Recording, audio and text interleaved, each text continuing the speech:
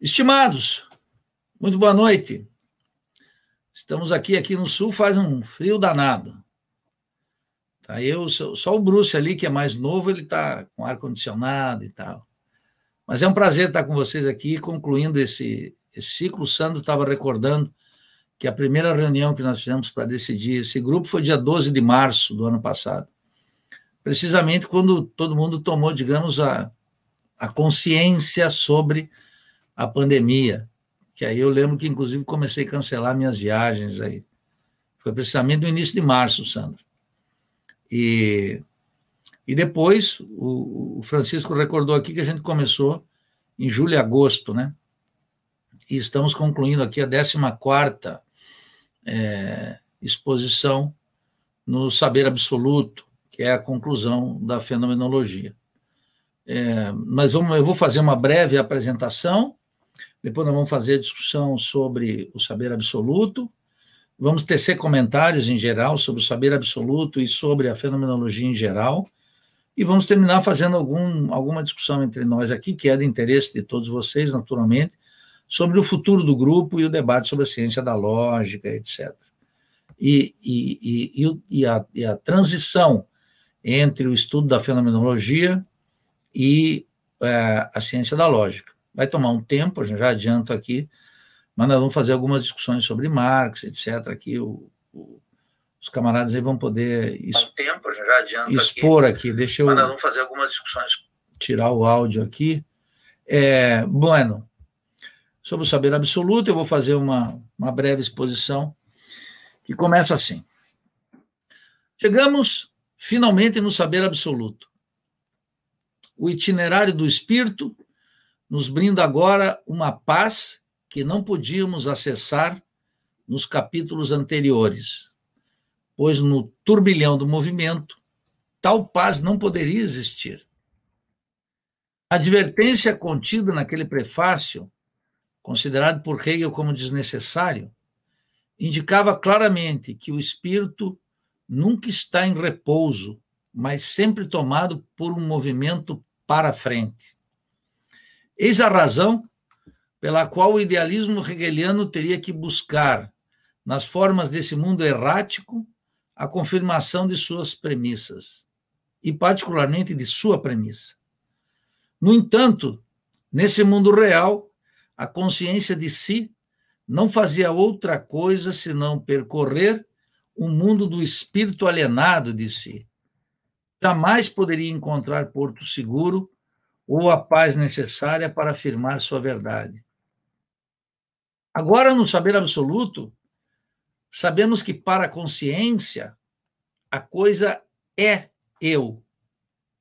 Por isso, Hegel afirma de imediato, não deixando margem à dúvida, a extrusão da consciência de si põe a coisidade, razão pela qual, e de maneira agora pouco surpreendente, esta extrusão não tem apenas um signo negativo, mas precisamente seu oposto. É um signo positivo.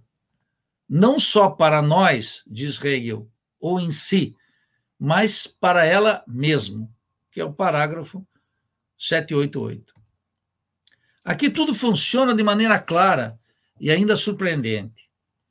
A ideia por si mesmo, por si mesma, a revelia do mundo, pois o ato de extrusão, que tanto ruído trouxe na análise do agir, agora está liberado completamente dos azares, dúvidas, determinações e contradições inerentes às formas anteriores.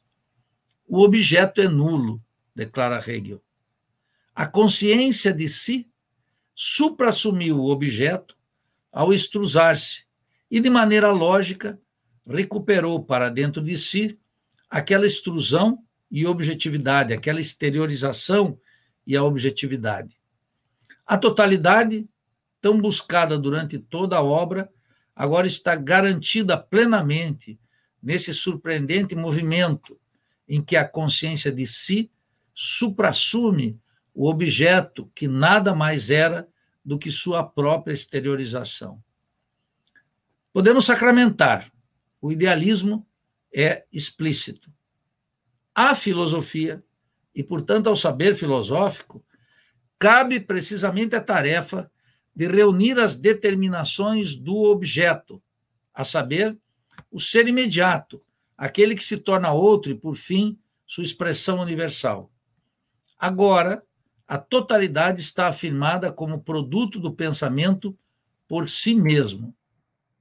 Impõe-se, portanto, a reconciliação do espírito com sua própria consciência, como se estivéssemos diante de um movimento unicamente interior, razão pela qual o espírito, certo de si mesmo em seu ser aí, não tem por elemento do ser aí outra coisa que esse saber de si mesmo. Nesse contexto, o agir, ao contrário dos capítulos anteriores, quando revelava mais completa negatividade, agora seu assume o seu caráter positivo. A reconciliação da consciência com a consciência de si. Consciência de si e ser para si finalmente unidos. Aqui, aquela, aquela força portentosa do negativo, anunciada lá no parágrafo 32 do prefácio, afirmada como a energia do pensar, do puro eu, agora foi suprassumida completamente pelo espírito que se sabe espírito, e, finalmente, apenas figura como águas do passado, incapaz de mover moinhos futuros. A morte de todas as formas anteriores é o alimento de fato da vida do espírito. A consciência nunca deixou de ser o ser aí imediato do espírito, que demanda desde sempre uma reconciliação após sua exteriorização o espírito encontra nesse mundo apenas um meio de alienação que deve necessariamente retornar a si para afirmar sua verdade e confirmar o conceito. Essa consciência é a autoconsciência que reclama a confirmação de sua premissa na exteriorização e que, portanto, deve reconciliar-se consigo mesma, na forma do saber absoluto. Portanto, nenhuma das formas percorridas ao longo da fenomenologia poderia, de fato, satisfazer essa premissa, que, não obstante, tanta ilusão nos trouxe. E tanta ilusão, eu digo, trouxe para mim mesmo. Né? Ilusão de que no abrir e fechar de suas formas nos remetia ao vai-vem do mundo real e nos revelava seu conteúdo ou substância, mesmo que ainda distante do conceito. Mas, precisamente, nesse movimento e nessa distância, exibia a necessidade premente de acessar ao conceito. Tudo funciona como se, desde o começo, todos os movimentos da consciência em busca de si mesma afirmassem a busca da totalidade, que, para acessá-la de maneira conciliada, teria que necessariamente passar pelos azares do mundo, mas o mundo como quase um acidente, quase uma contingência. O saber absoluto é a última figura do espírito, diz Hegel nesse parágrafo 798, definido como o espírito que se sabe em figura do espírito, ou seja, é o saber conceituante. Mas, se o saber absoluto é o espírito que se sabe em figura de espírito, ou seja, é o saber conceituante, a ciência produz, por seu lado, o conceito, mas podemos afirmar também que no conceito pressuposto já estava também a determinação da ciência na obra filosófica, no idealismo filosófico de Hegel. O espírito que se percorre a si mesmo para manifestar o conteúdo na forma do conceito. Não posso evitar aqui uma palavra sobre a religião, aqueles capítulos, sobre aquele capítulo sobre a religião, que até hoje me atormenta aqui pessoalmente. Aquele estranho capítulo no qual a dialética hegeliana caminha de maneira igualmente firme e convicta, mas nos remete para um terreno surpreendente. É claro que ao afirmar a importância do iluminismo, em que toda fé de caráter religioso se evanece diante da ciência, Hegel não deixou de afirmar também ali o que chamou de a religião do iluminismo. Os momentos do espírito apareciam de imediato como consciência, a consciência de si, a razão e o espírito propriamente dito, sem, contudo, figurar a consciência do espírito. É verdade que, em larga medida, o espírito se apresenta como religião, seja na religião da arte ou na religião manifesta ou revelada. No parágrafo 761, Hegel diz: o saber especulativo é o saber da religião revelada, o que, de fato, abre as portas para a busca do saber absoluto. A consciência religiosa abriga, portanto, o conceito do espírito que sabe a si mesmo como espírito, porém não de maneira plenamente desenvolvida. Mas qual afinal o conteúdo dessa religião? Ora, escrevo eu, né? É uma representação do espírito que assim deve ser, porque o espírito que se sabe desenvolvido, assim como o espírito, é a ciência. A ciência é a efetividade do espírito, o reino que ele, para si mesmo, constrói em seu próprio elemento.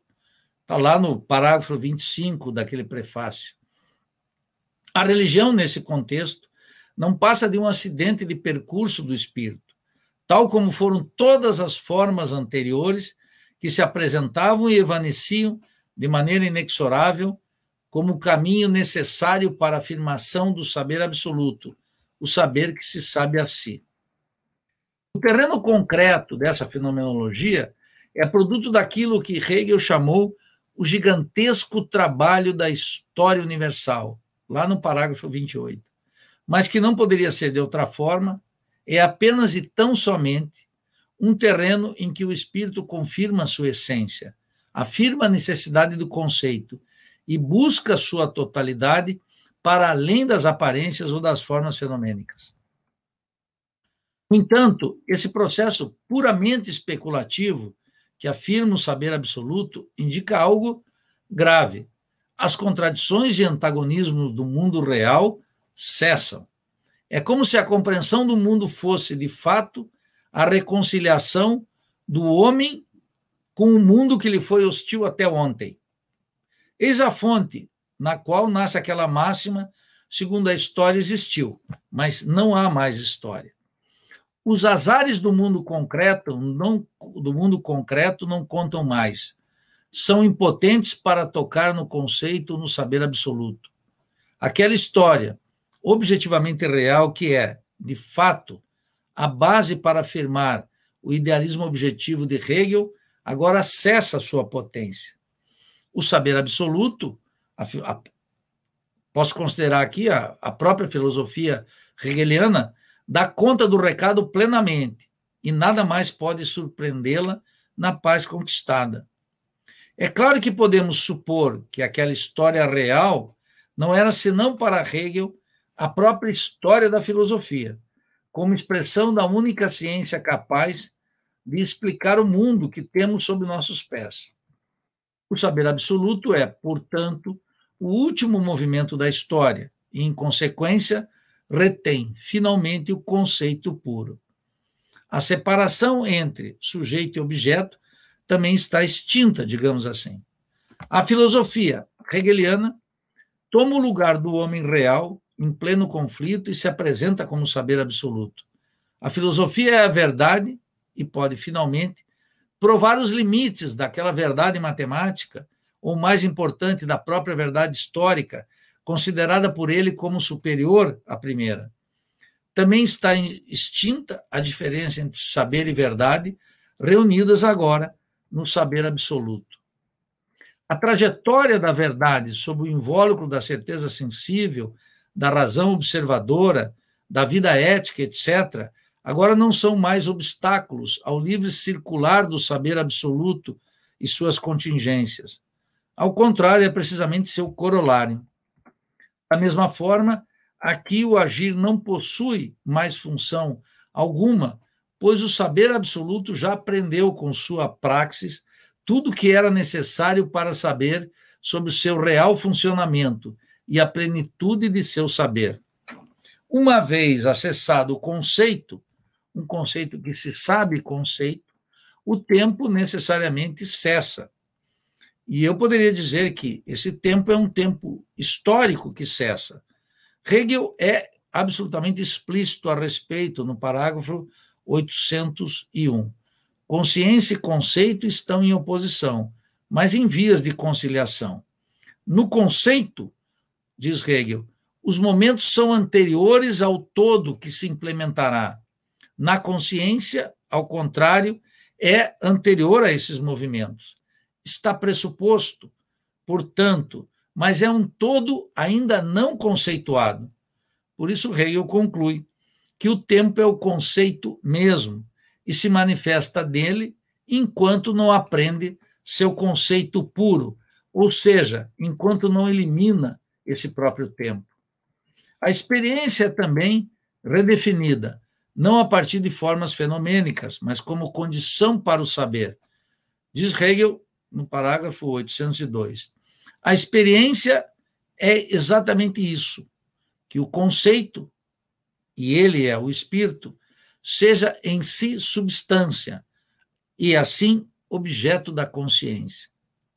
O espírito é em si o movimento que é o conhecer. A transformação desse em si no para si, da substância no sujeito, do objeto da consciência em objeto da consciência de si. Isto é, em objeto igualmente suprassumido, ou seja, no conceito.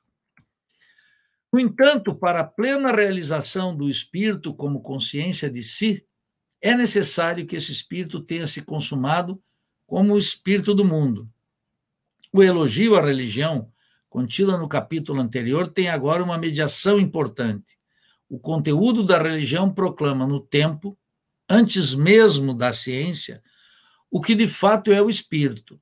No entanto, diz Hegel, somente a ciência é o verdadeiro saber do espírito sobre si mesmo. Naturalmente, aqui eu estou brigando comigo mesmo e a minha escassa compreensão, ou ainda minha difícil compreensão do capítulo da religião. Portanto, podemos dizer ou concluir que é o espírito que produz no seu itinerário a história, e não o contrário, como muitas vezes na fenomenologia o filósofo nos fez acreditar, exibindo as marcas do seu idealismo objetivo ao tratar da evolução da filosofia como expressão da consciência de si para si. No início da fenomenologia, Hegel afirmou que vivemos numa época em que a universalidade do espírito está fortemente consolidada e a singularidade, como convém, tornou-se tanto mais insignificante, em que a universalidade se aferra a toda a sua extensão e riqueza acumulada e as reivindica para si. A parte que cabe à atividade do indivíduo na obra total do espírito só pode ser mínima. Assim, ele deve esquecer-se, como já o implica a natureza da ciência. O indivíduo deve vir a ser e também deve fazer o que lhe for possível, mas não se deve exigir muito, mas não se deve exigir muito, já que muito pouco pode esperar de si e reclamar para si mesmo. Agora, no final da jornada, proclama com a mesma convicção: o reino dos espíritos constitui uma sucessão na qual um espírito sucedeu a um outro, e cada um assumiu de seu antecessor o reino do mundo. No entanto, esse caminho é a rememoração dos espíritos como são neles mesmos e como desempenham a organização do seu reino. O seu ser aí livre opera na história. Sua organização conceitual é a ciência, o saber que se manifesta. Unidos, a história conceituosa, conceituada formam, diz Hegel, a rememoração e o calvário do espírito absoluto. Bueno, essa, esse é o comentário que eu gostaria de fazer sobre o Espírito Absoluto. Pode colocar todos aí na tela, o Matheus. É, Para dividir com os camaradas que, na verdade, é, deram suco e seiva para esse curso, para esse é, para análise da fenomenologia e a gente começar um debate sobre o espírito absoluto. Os camaradas estão livres para fazer seus comentários é, e ampliar essa breve exposição.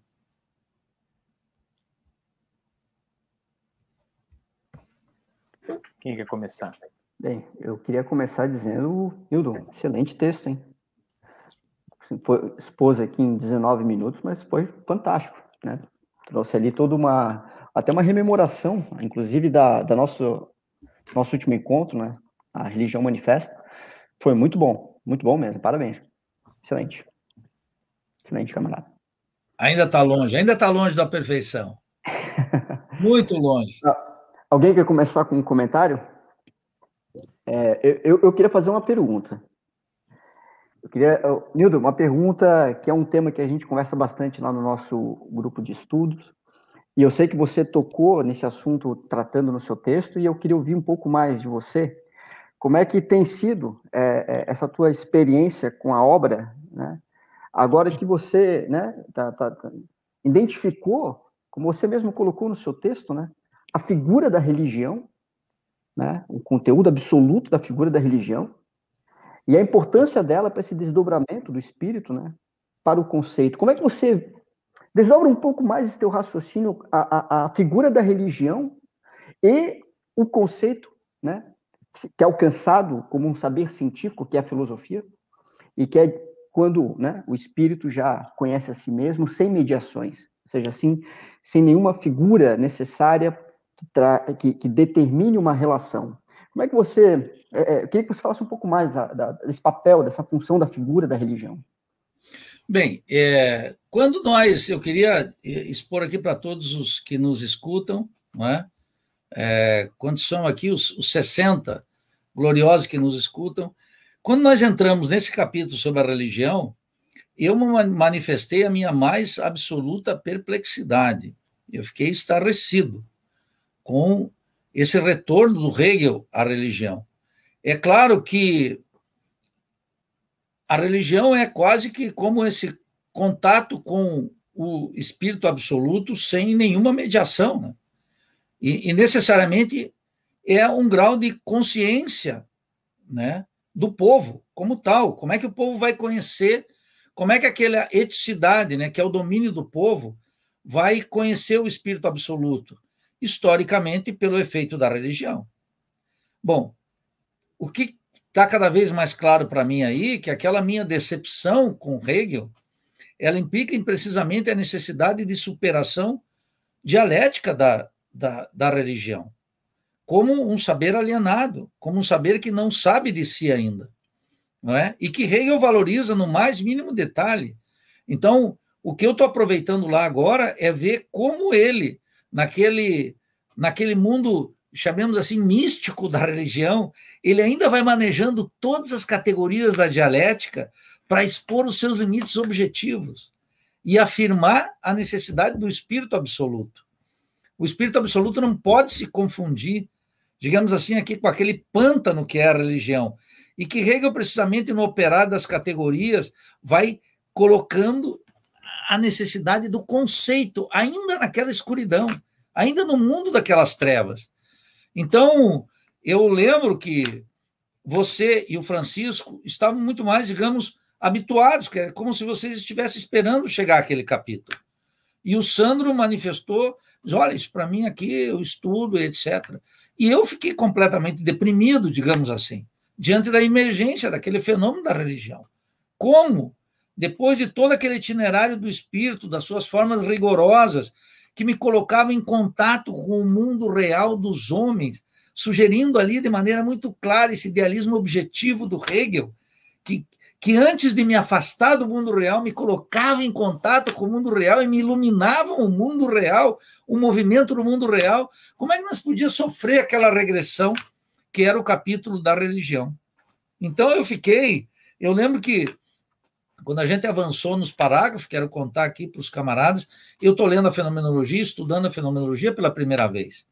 Então, eu ainda perguntei, escuta, o Hegel está tá tratando de maneira irônica e eu lembro que o Francisco disse: não, é muito sério. Na boa eu, consciência, né? Na boa consciência. Na boa consciência, exatamente. No exercício da boa, no domínio pleno da boa consciência, eu ficava assim e dizia: bom, mas ali o espírito absoluto se manifesta, ainda que não plenamente desenvolvido, né?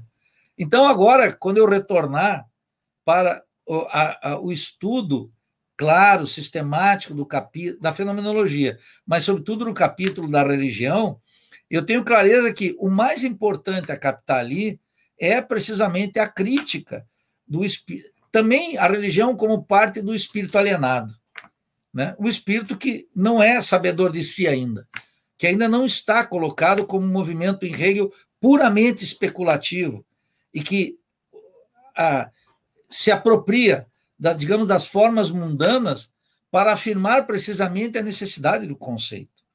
Então é isso que eu, que eu diria hoje sobre, sobre o tema da religião. Eu sei que vocês trataram é, de maneira muito mais exaustiva e com maior precisão o capítulo da religião nas três aulas do capítulo da religião, né? Porque foram é um capítulo é, denso, complicado, né?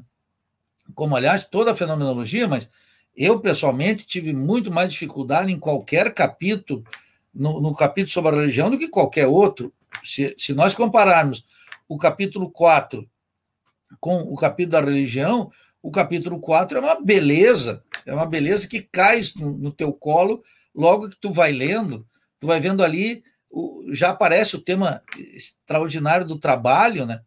Mas na religião, ao contrário, na religião é uma forma de tratar a forma mundana do espírito absoluto e o papel da filosofia, não é? Que quando eu lia, para mim ainda não estava absolutamente claro. Né? A despeito de vocês aqui orientarem e dizer, bom, a filosofia que vai dar conta desse mundo caótico é a própria filosofia do Hegel. É ele que se coloca como o personagem histórico, dizendo: bom, agora que cessou tudo, porque eu já fiz uma revisão completa, inclusive esclarecendo a função dessa, dessa religião. Então é isso que, que, que pegou para mim. Desculpa, camarada, só, agora só para complementar a pergunta que eu tinha feito sobre religião e, e, a questão do fim da história. Você acha que. Como é que você agora, comentando o, o, o saber absoluto, como é que entra essa. Ou como é que se trata agora essa questão do fim da história? Há um fim da história? Ó, depois, depois dessa, eu quero emendar uma pergunta também. Bom, o negócio do fim da história aqui, que a gente tratou um pouco, né? E eu agora observo aquelas conversas que, quando saiu Fukuyama com o último homem, o fim da história, etc. e tal, aqui tem uma densidade e uma trama que não se pode cancelar a história. Isso é a pretensão, eu diria, é a pretensão de Hegel de dizer a filosofia do mundo deu do, do eu como uma é, como concluída a tarefa. Aqui na fenomenologia, eu não conheço a ciência da lógica. Ele diz: bom, aqui eu chego no auge. Mas, claro, esse fim da história é no auge no seguinte sentido: todas as contradições anteriores estão agora elucidadas. Mas o mundo não para de colocar questões, não é? Como Marx já já resolveu, né? Nos manuscritos econômicos e filosóficos, na, na ideologia alemã e na própria obra do Marx, ele dá um destino para aquele beco sem saída que supostamente Hegel entrou, dando por concluída a tarefa da filosofia, da compreensão do mundo, não é? De, de, de, quer dizer, tem um sentido, tem uma pretensão intelectual e tem um sentido lógico ele dizer, bem, até aqui a, a história cumpriu o seu dever, que já estava lá no prefácio, quando ele diz, olha, a universalidade está posta e o espírito se encontra nela. Então, Isso. lá eles não peçam muito do homem. O homem já não. O indivíduo, o indivíduo não pode muito. E é quase ele dizendo, e a filosofia agora não pode muito porque eu já dei conta dela. Mas, como nós vimos, eh, a história é uma coisa maravilhosa, porque ela abriga contradições. Só uma última observação sobre isso, Bruce. Quando ele trata do iluminismo, ele, no capítulo do iluminismo, é uma crítica também muito bem feita ao tema da religião. Sim. Mas ele depois também submete a, a solução que ele dá ao, ao que ele chama, que eu resgatei aqui, a, a religião do iluminismo. E diz, bom, ela também abriga uma contradição que ela não pode resolver. Bom, e ele de fato dá uma. Eu, uma das coisas que eu vou fazer agora é ler aquele livro sobre o que é ilustração, iluminismo do Kant. Eu vou, eu vou fazer porque o, o Chico pode torcer o nariz, mas eu tenho que Chico, porque qual é o abismo, não, não, é, é um é bom o livro. que separa entre Kant e Hegel no trato do iluminismo. Porque Ah, tá. certamente Hegel triturou o, o Kant. Eu, já- eu já sei Ah, que tá. tem um crime, eu já sei que tem um crime lá, mas, como diria, preciso saber como. Né? Tem um cadáver, o problema é como é que se chegou a esse cadáver.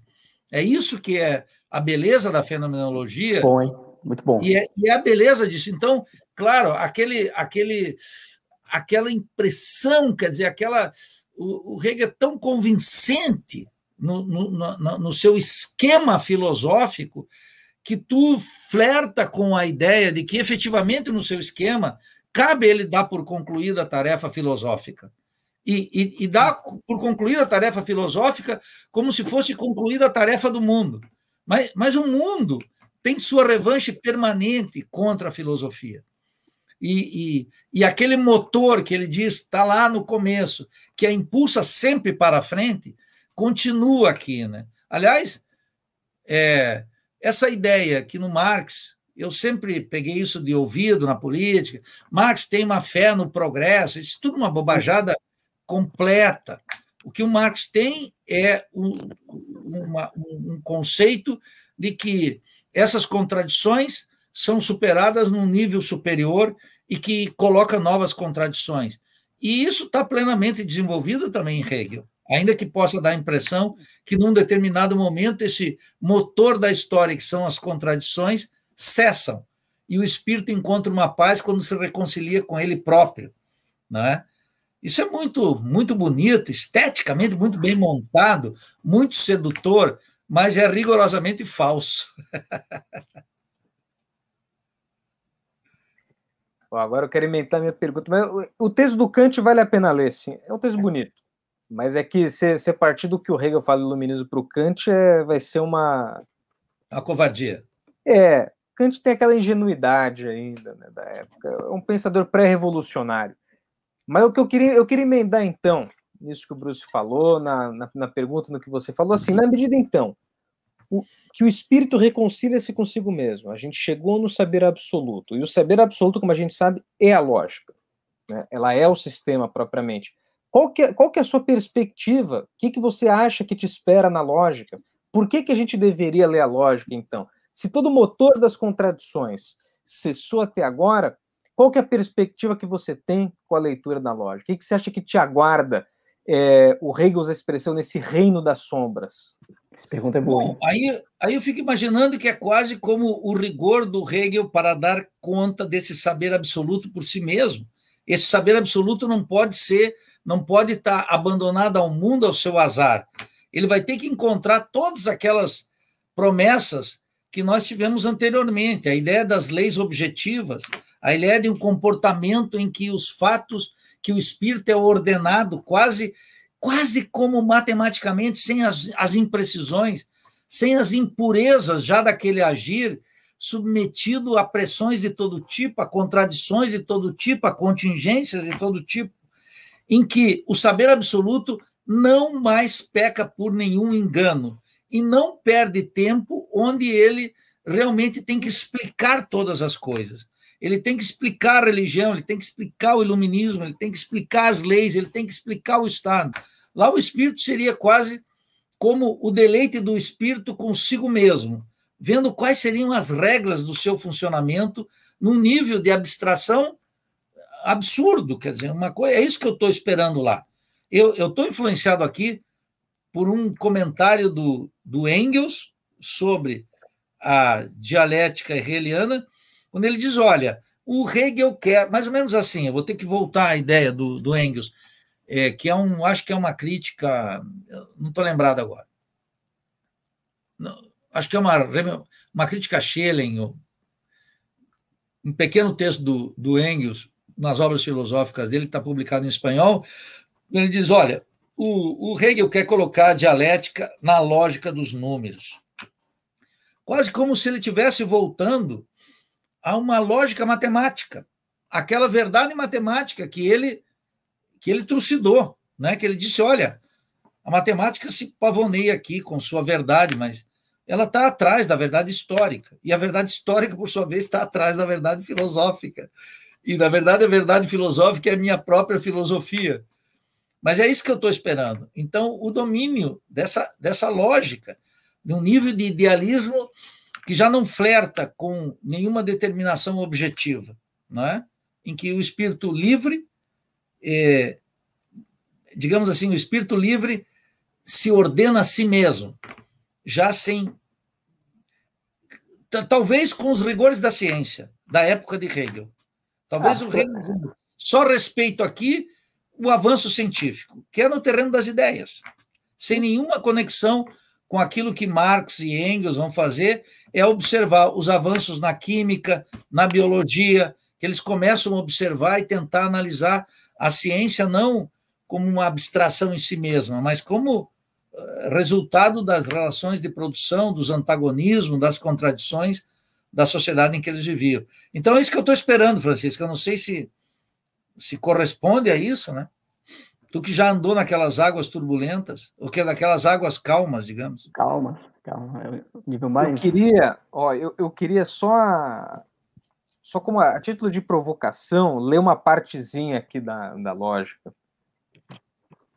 O sistema da lógica é o reino das sombras, o mundo das essencialidades simples, libertado de toda a concreção sensível o estudo dessa ciência, a estadia e o trabalho nesse reino de sombras é a formação absoluta e a disciplina da consciência.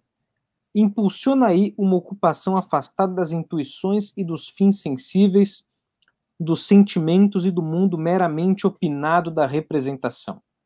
Considerado por seu lado negativo, essa ocupação consiste no afastamento da contingência do pensar raciocinante e da arbitrariedade de deixar vir a mente e valer essas ou aquelas razões opostas. Você vê que você acertou, hein? Você acertou, hein? Eu acertei, mas foi só intuitivo. Eu acertei aqui, foi só intuitivo. Ó, mas vou continuar. Francisco, Francisco, agora, deixa eu aproveitar esse teu comentário, porque a ciência da lógica é um nível de, vamos dizer, abstração absoluta. Não, não lida mais com ser aí, não lida com mais nada. Digamos assim. É, lida com a, a forma do ser aí. Ele não, então, não será aí particular. Então, aí tem um ponto interessante que eu queria que tu. Até a gente conversou isso no nosso último encontro, né? É, seria. Não, não há mais. Embora exista mediações, mas não há mais negação determinada, né? Ou seja, não, não tem mais. E mais uma coisa, Bruce. Não só uma negação determinada, mas como é que fica o movimento na ciência da lógica? É, esse é o ponto, essa é a pergunta, porque o movimento ele existe do ser o, o devir, né? Tá, tá, tá, tá, tá, tá, tá nas, é, ser, é o momento da categoria. Isso, mas, mas não há mais aquela operação de uma negação determinada, suprassumindo, ah. ou há? Ah, ah, mas ela é um outro tipo. Que ela já não é uma negação determinada, no sentido de uma consciência que está oposta, mas sim é uma oposição completamente. Não, não há oposição com o outro de si, mas somente a si mesmo. Então é o puro automovimento do conceito, mas assim é negação determinada. A diferença é. No interior do movimento do conceito? Exato. Tem determinações?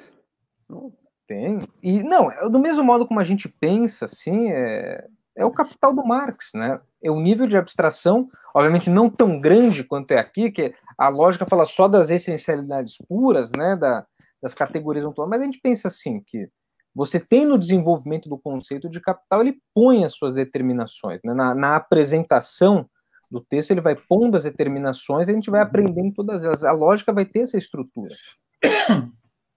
Só que, obviamente, o Hegel, o idealismo do Hegel, vai forçar ele a. Capital, capital é como é um outro tipo de operação que está sendo ali com algo muito mais concreto e no qual a, o caráter lógico ele é apenas consequência da lógica do objeto e não algo imposto ao material, é tudo isso a gente vai ver também. Mas Não, é isso. Tá, no Marx está a relação entre o lógico e o histórico, né? É. E no, Hegel, esse, e no Hegel, então, na ciência da lógica, esse histórico ele, ele, ele sai sobrando, ele desaparece. É, a história não aparece. De certa forma, a história não aparece na lógica, mas a lógica seria, de certa forma, é, aquela a, a, explicitação das categorias que possibilitam a história. Isso. Mais ou menos isso. Né? Do mesmo modo assim que é, o Marx explicita as categorias que tornam possível toda forma de capitalismo, seja um pouco mais atrasado, seja é, o avançado, como ele toma como modelo, mas é, é, é, é basicamente o modo de funcionamento puro, né, livre da contingência. A lógica faz a mesma coisa, só que com basicamente as categorias ontológicas do espírito e também, em certa medida, da natureza. Né?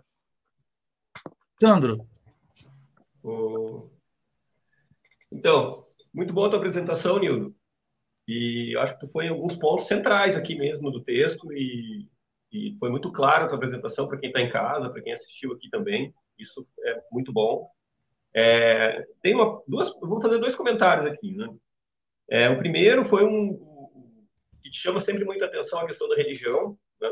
como tu mesmo colocaste, foi uma questão aqui que a gente debateu aqui dentro do nosso grupo, né? Uns com mais resistências, outros com menos, né? Eu, na verdade, mais interessado em resolver o meu problema no Hegel em relação à religião. Né? Eu tinha esse problema teórico para resolver, né? E resolvi então é, penetrar com muito cuidado no texto, né? passo a passo, como eu costumo fazer, né?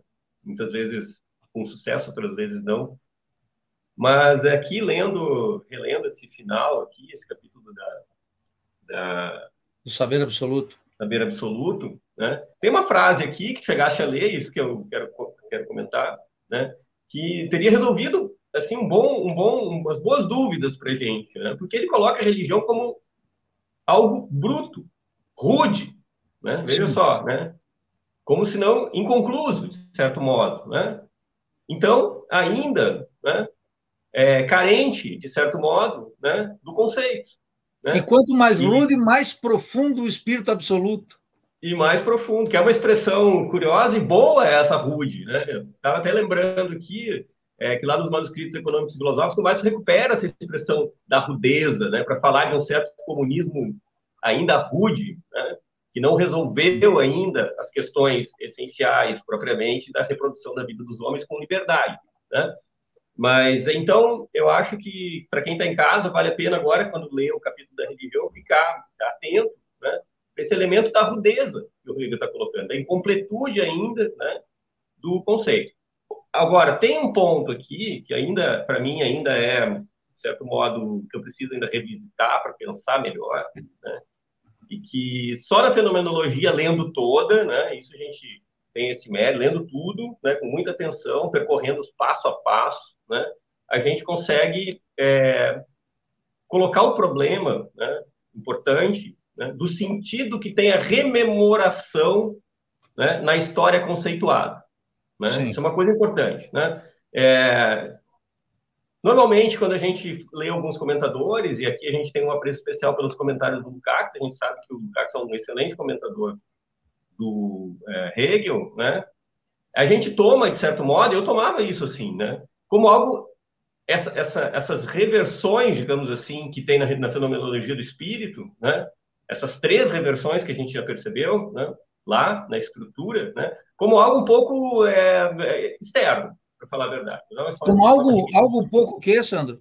Externo. Assim, eu tomava que a gente, eu pelo menos tomava esse, aquele movimento como um movimento da estrutura da obra, da argumentação do Hegel dentro do sistema. Né? Mas aqui, nesse capítulo final, a gente percebe né, como, ele, como ele é propriamente essencial ao próprio conceito, à própria história conceituada. Né? Porque o elemento propriamente né, que vai pôr a consciência de si como saber de si, né, só pode é, se realizar propriamente né, num movimento de retorno. E é esse movimento de retorno né, que aqui ganha peso. né? Sem dúvida. que é propriamente a rememoração. Né? É só ali, então, que nós vamos dar o passo fundamental né, para essas essencialidades livres, que é o que vocês estão comentando aqui. Né?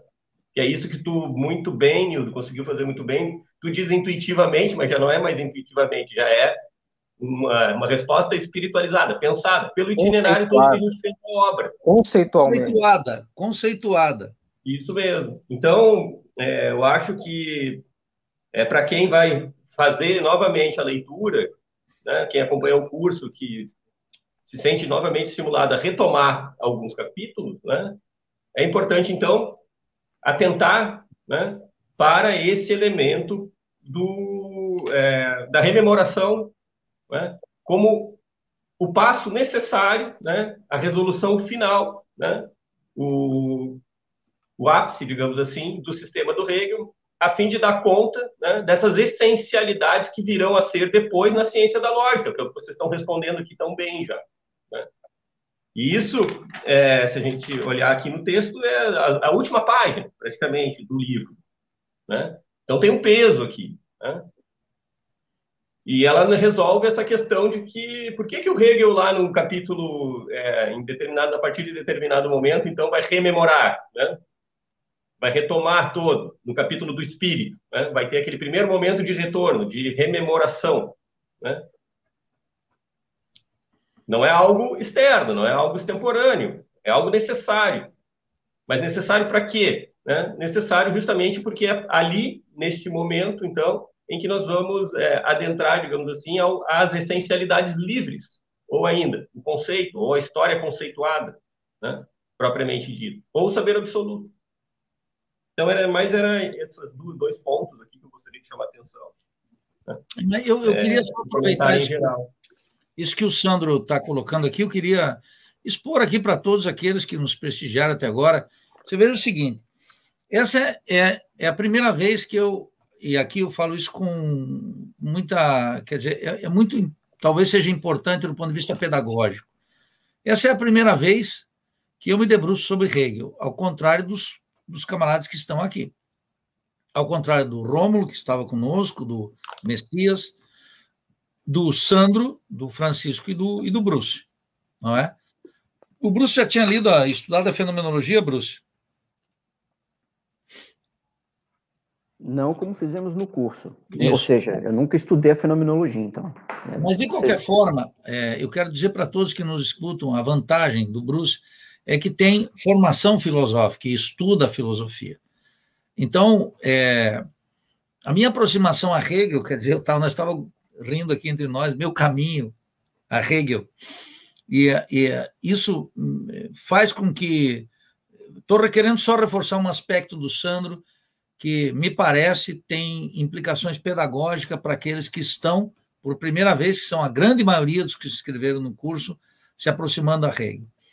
Sempre que nós nos reuníamos, tínhamos todos uma leitura prévia, e depois íamos linha por linha, parágrafo por parágrafo, discutindo. E era sempre muito surpreendente as, a percepção, a sacada e a revelação que tinha cada parágrafo para todos do grupo, os que leram e os que não leram.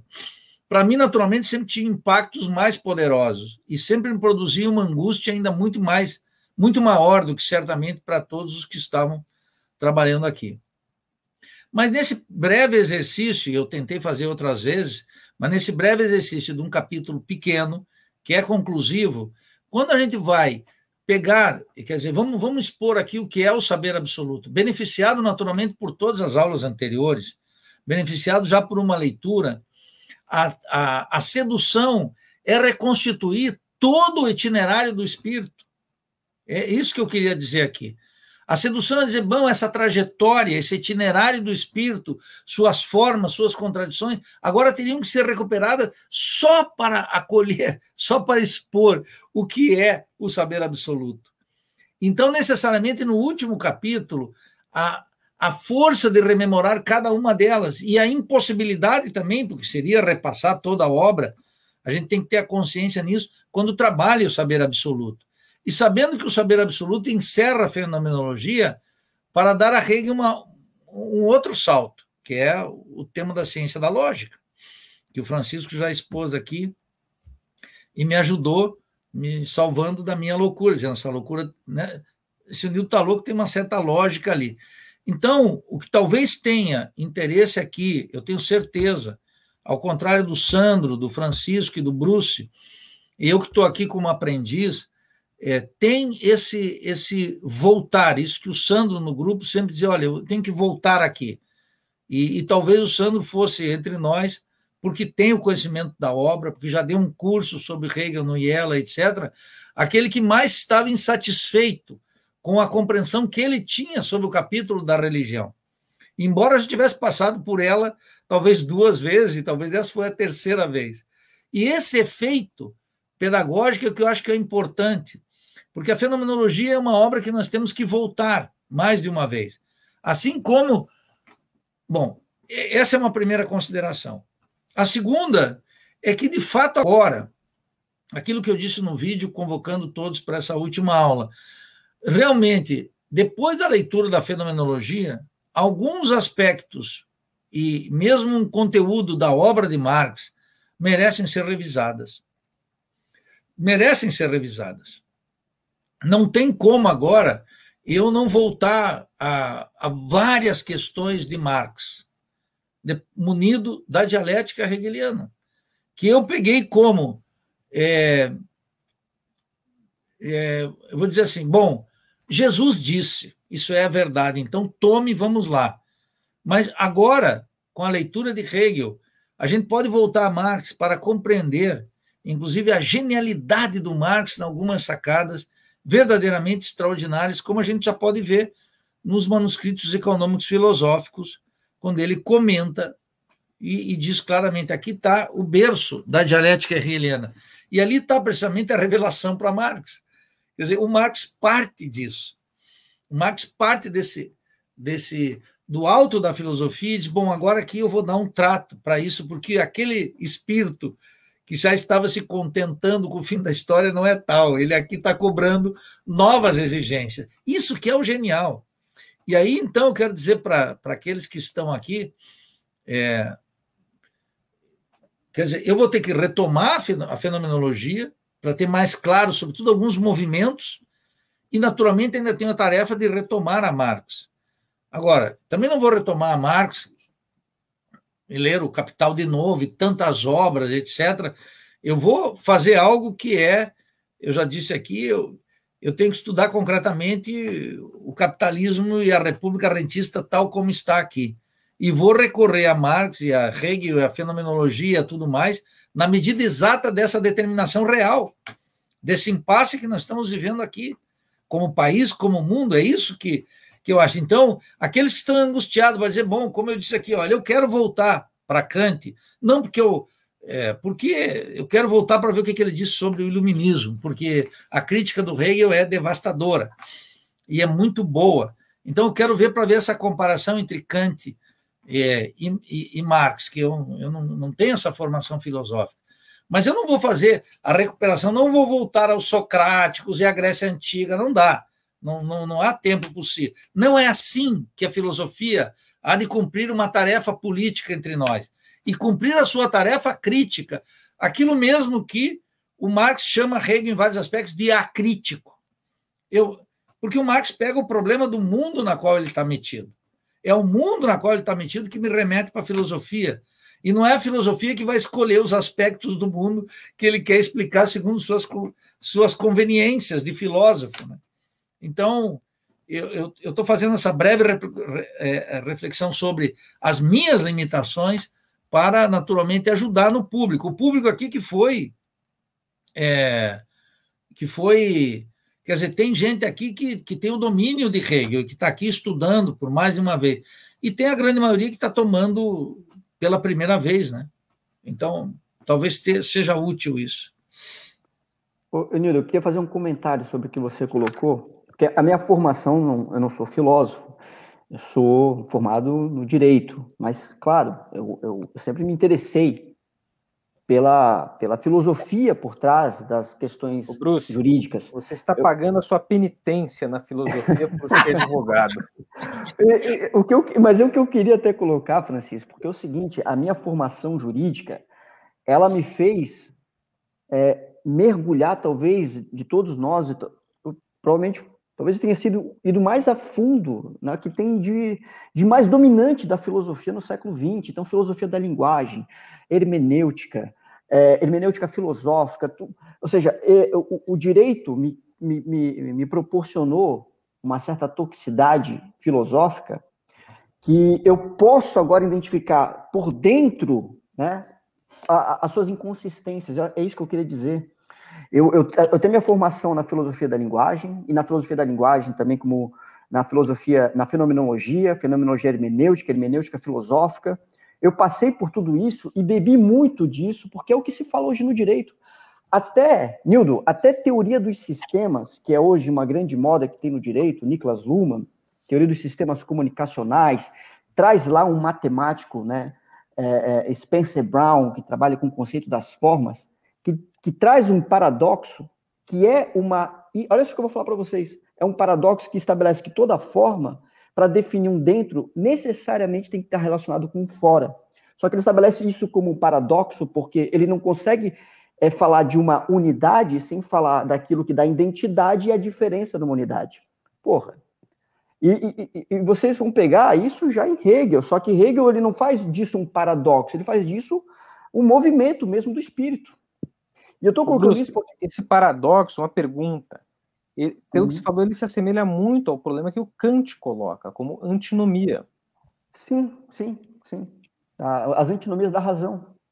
Que, é, só que entenda que há uma autorreferência, Francisco, que não deixa de recuperar a autorreferência da filosofia do sujeito, né, da consciência de si, só que sempre relacionando a partir de uma diferença com aquilo que não pode ser nomeado, porque só pode ser nomeado a partir da sua autorreferência.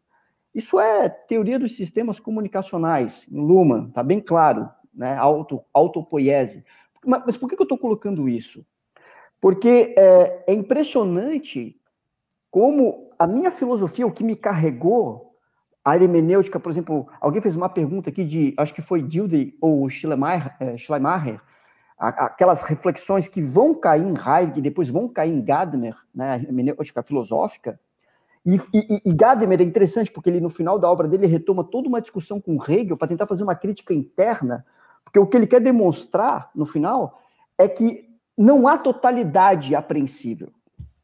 Então, se abre mão de uma totalidade, condena ao irracionalismo e se traz tudo para uma dimensão da finitude. E aí eu, aí eu trabalho com ontologias de práticas imediatas, como faz Wittgenstein, com as formas de vida e os jogos de linguagem, como faz Heidegger, e aí condena a impessoalidade dos espaços públicos, né, para tentar retomar uma angústia e uma, e uma caída que levaria à vida autêntica, que seria o controle de um ser que sabe que é para a morte, mas fica tudo, é, é, entenda, uma reclusão a uma experiência linguística e assume a irracionalidade de uma compreensão do todo. E, e Lukács vai retomar essa discussão, vai retomar isso, essa ontologia, como a gente sabe, eu estou falando que você já sabe, mas a importância disso para a filosofia no século XX, porque ela está toda ela intoxicada pela filosofia da linguagem. Ela não saiu, em última análise, de Kant. Não saiu de Kant com os transcendentais, com a autorreferência da consciência do objeto Bruce, para si. Eu digo Desculpa, mais, é, aquém de Kant, porque o Kant ainda coloca o problema da coisa em si. Já Perfeito. os pós-kantianos, os neo-kantianos, inclusive, a primeira coisa que eles fazem é excluir o problema da coisa em si. Excluir uma dimensão da realidade, embora no Kant princípio, mas que circunscreve, que de certa forma determinaria os fenômenos. Isso está fora. Então, eles tornam absoluto essa visão empírica e que, em última instância, é a visão da vida cotidiana. É, é literalmente a, a consciência ingênua, Nil. Exatamente. Eles tornam absoluta, como única coisa possível, a consciência ingênua da vida cotidiana. O Hegel, inclusive, é, várias vezes, ele, ele, ele associa o, o que ele chama de instinto da razão, que é o empirismo filosófico, ele associa com a ingenuidade da vida cotidiana. E, e desculpa te cortar. Corretamente. Corretamente. É, desculpa, continua, Francisco, eu quero depois fazer um comentário para fechar até que eu ia é falar. Só, é, eu já passo para você, só que um, um, camarada aqui, o Július, é, ele fala aqui do Klaus Hartmann. como que a, eu conheço o trabalho do Klaus Hartmann, é um artigo muito conhecido dele, o Terry Pinkard, que é um, um dos principais é, estudiosos de Hegel por, uma, por um viés analítico, foi aluno do Klaus Hartmann. E, e eu queria afirmar assim, não se trata de uma hermenêutica. O Hegel não trabalha com hermenêutica. Na verdade, quem trabalhava com hermenêutica era o Schleiermacher, principalmente. O Hegel era extremamente crítico dele. Mas por que ele não trabalha com hermenêutica?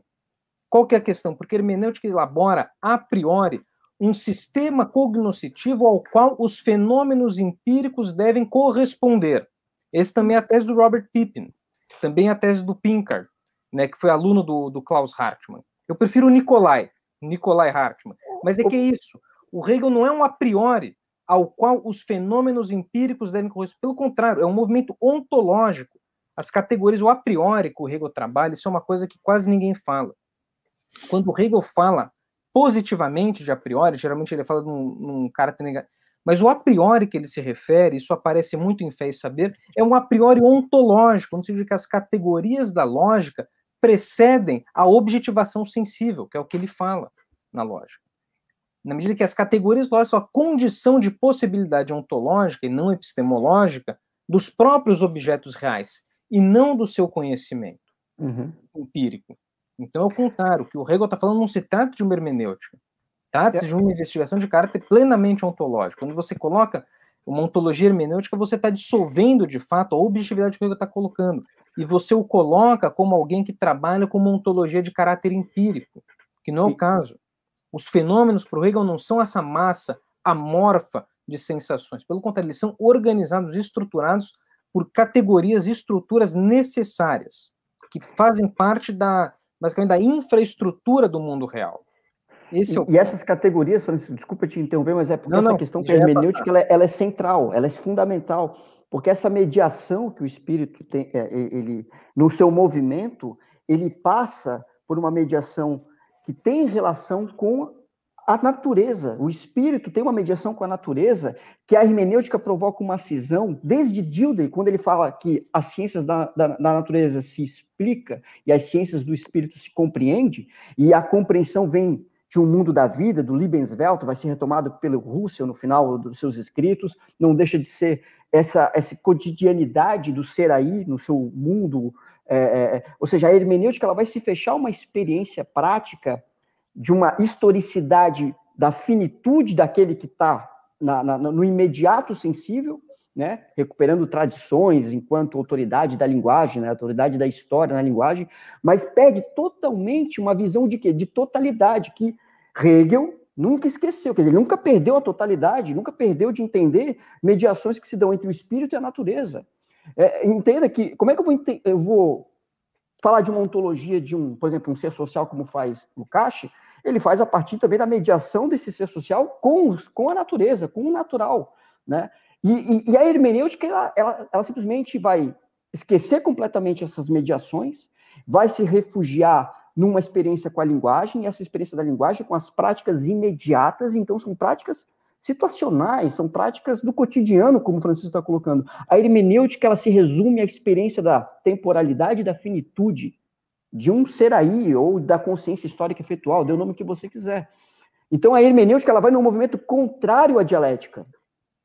E ela provoca cisões que vai condenar ao irracionalismo. Então, se perde a totalidade. E se você perdeu a totalidade, você perdeu a dialética. Deixa eu perguntar uma coisa para vocês aqui. Tem um, tem uma rapaziada aqui que é iniciada na, na filosofia, vários estão fazendo comentários aqui que são muito úteis, úteis, né? É, eu queria fazer uma outra confissão aqui para os camaradas que estão nos escutando, que era o seguinte: é, quando a gente começou o grupo, o Francisco ainda fez um alerta, disse: olha, vale a pena ler. É, eu tinha uma recusa que eu quero dizer a todos aqui, que era começar na fenomenologia e passar por essa experiência sem ter uma formação filosófica, né? tendo lido Marx e, e seguindo Marx, estudando Marx com frequência e lendo textos, Marx e Lenin, que também é um, um camarada que frequenta a minha casa aqui com uma certa frequência. E eu diria mais concretamente, já toda semana eu leio alguma coisa do Lenin, que seja um pequeno artigo, uma pequena polêmica. Bom, Mas eu fico pensando agora, a partir desses comentários que vários estão colocando aqui, né? O Wagner Campanello, o Marcel, o Matheus Henrique, o Júlio César, todos que estão colocando aqui, e outros tantos que estão colocando. É, em que medida que surge Lukács, né? É, eu vou dizer Lukács sempre, porque tem um monte de gente que não fala corretamente José Carlos Mariatti, que fala Lucati. Então eu fico falando Lukács, que é para provocar essa tigrada aí. Mas é o seguinte, é, eu fico pensando em que medida agora, nesse momento, auxiliaria nesse retorno à fenomenologia, eu ia perguntar também ao Sandro, ao Francisco e ao Bruce, a leitura do, do jovem, o jovem Hegel ou o Kojev. Quer dizer, em que. Em não que falei medida... do Kojev, não. Não recomendei. Não, não, falou no Kojev só para entender o prefácio. Diz, olha, talvez valha ali o prefácio e tal. Mas eu fico pensando agora, já que o mundo francês se fez sobre Kojev, né? mas eu estou pensando no Lukács, que eu troquei uma, uma breve conversa com o Bruce essa semana por telefone, rapidamente, e a gente está dizendo, porra, realmente a grandeza filosófica de Lukács. Talvez como o marxista, o filósofo marxista mais importante, pela amplitude da obra. E eu estava dizendo para o Francisco e para o Bruce, digo para o Sandro, que eu conheci, tive a felicidade de conhecer e trazer aqui o Adolfo Santos Vasques, que eu considero um grande filósofo marxista. Mas, naturalmente, a amplitude da obra de Lukács, o alcance, a pretensão é verdadeiramente espantosa. Né? E eu estava pensando agora em que medida ler o jovem Hegel ajudaria em entender o sistema hegeliano. É, é uma pergunta que eu faço para vocês. Né? Ou em que medida ler agora os comentaristas, entre os quais, talvez, no Brasil, o mais famoso, estou pensando aqui, vocês saberiam dizer, é, o COGEV poderia auxiliar na leitura da fenomenologia, ou seguimos na batida de ir para a ciência da lógica. Primeiro, a revisão da fenomenologia, que está consagrada como uma tarefa decisiva. A revisão, de novo, uma leitura aqui mais solitária agora da fenomenologia, amparado por uma pelos inúmeros seminários, não sei quantas reuniões nós fizemos, sei lá, foram sei lá, uma centena já não. Foi muita coisa, né? Foi muito, foram muitas. Em que medida isso poderia auxiliar?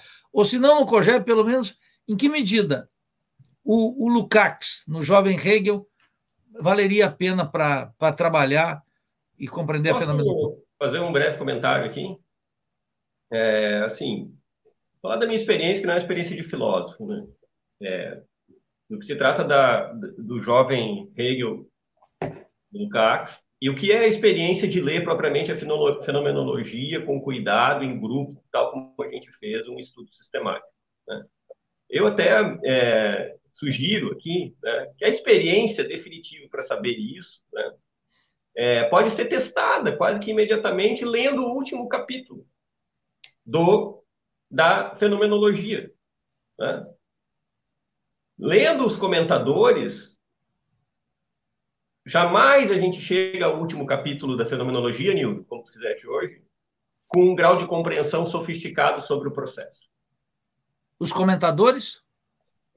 Uma leitura é, circunscrita a comentadores do Hegel não nos habilita a chegar no último capítulo da fenomenologia, que é o último, e ter uma compreensão. Parece várias questões é, intra, in, é, entre o debate dos, dos autores, dos situa historicamente, né? faz comentários é, primorosos né, que nos ajudam a situar, mas não nos ajudam propriamente a resolver e transitar por dentro da riqueza propriamente da fenomenologia do espírito e que vai né, nos dar elementos, inclusive, para pensar o Marx com mais riqueza.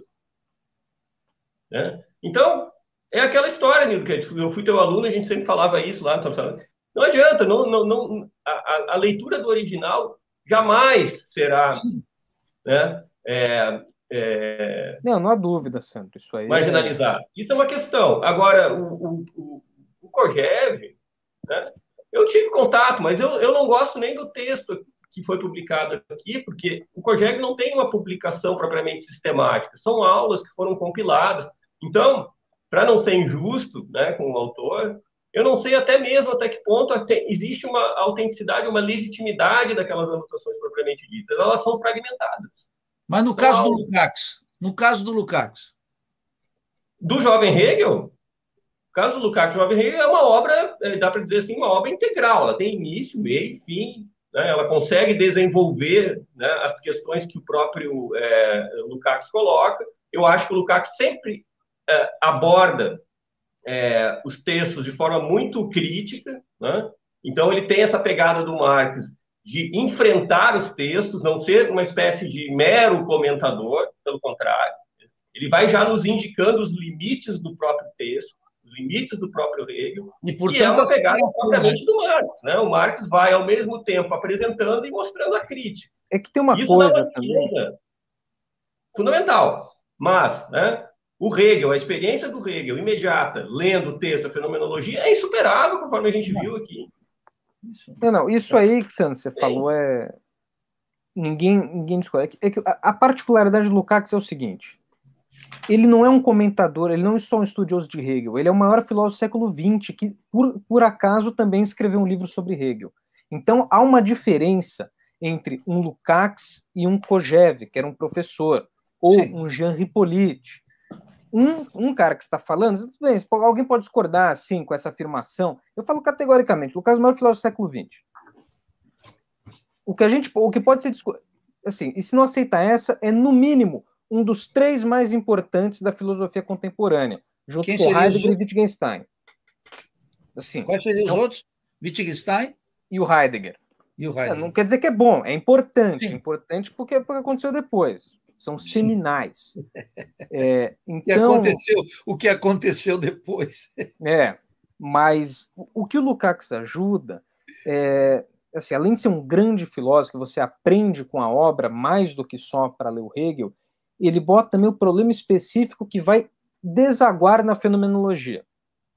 Então, os problemas que o Hegel está se debatendo ao longo do, da sua evolução filosófica, o modo como eles desaguam na fenomenologia, isso é um negócio que quase ninguém pega como o problema que o Lukács coloca vai desde ali do problema da positividade até chegar no conceito de exteriorização, na nossa tradução extrusão, né?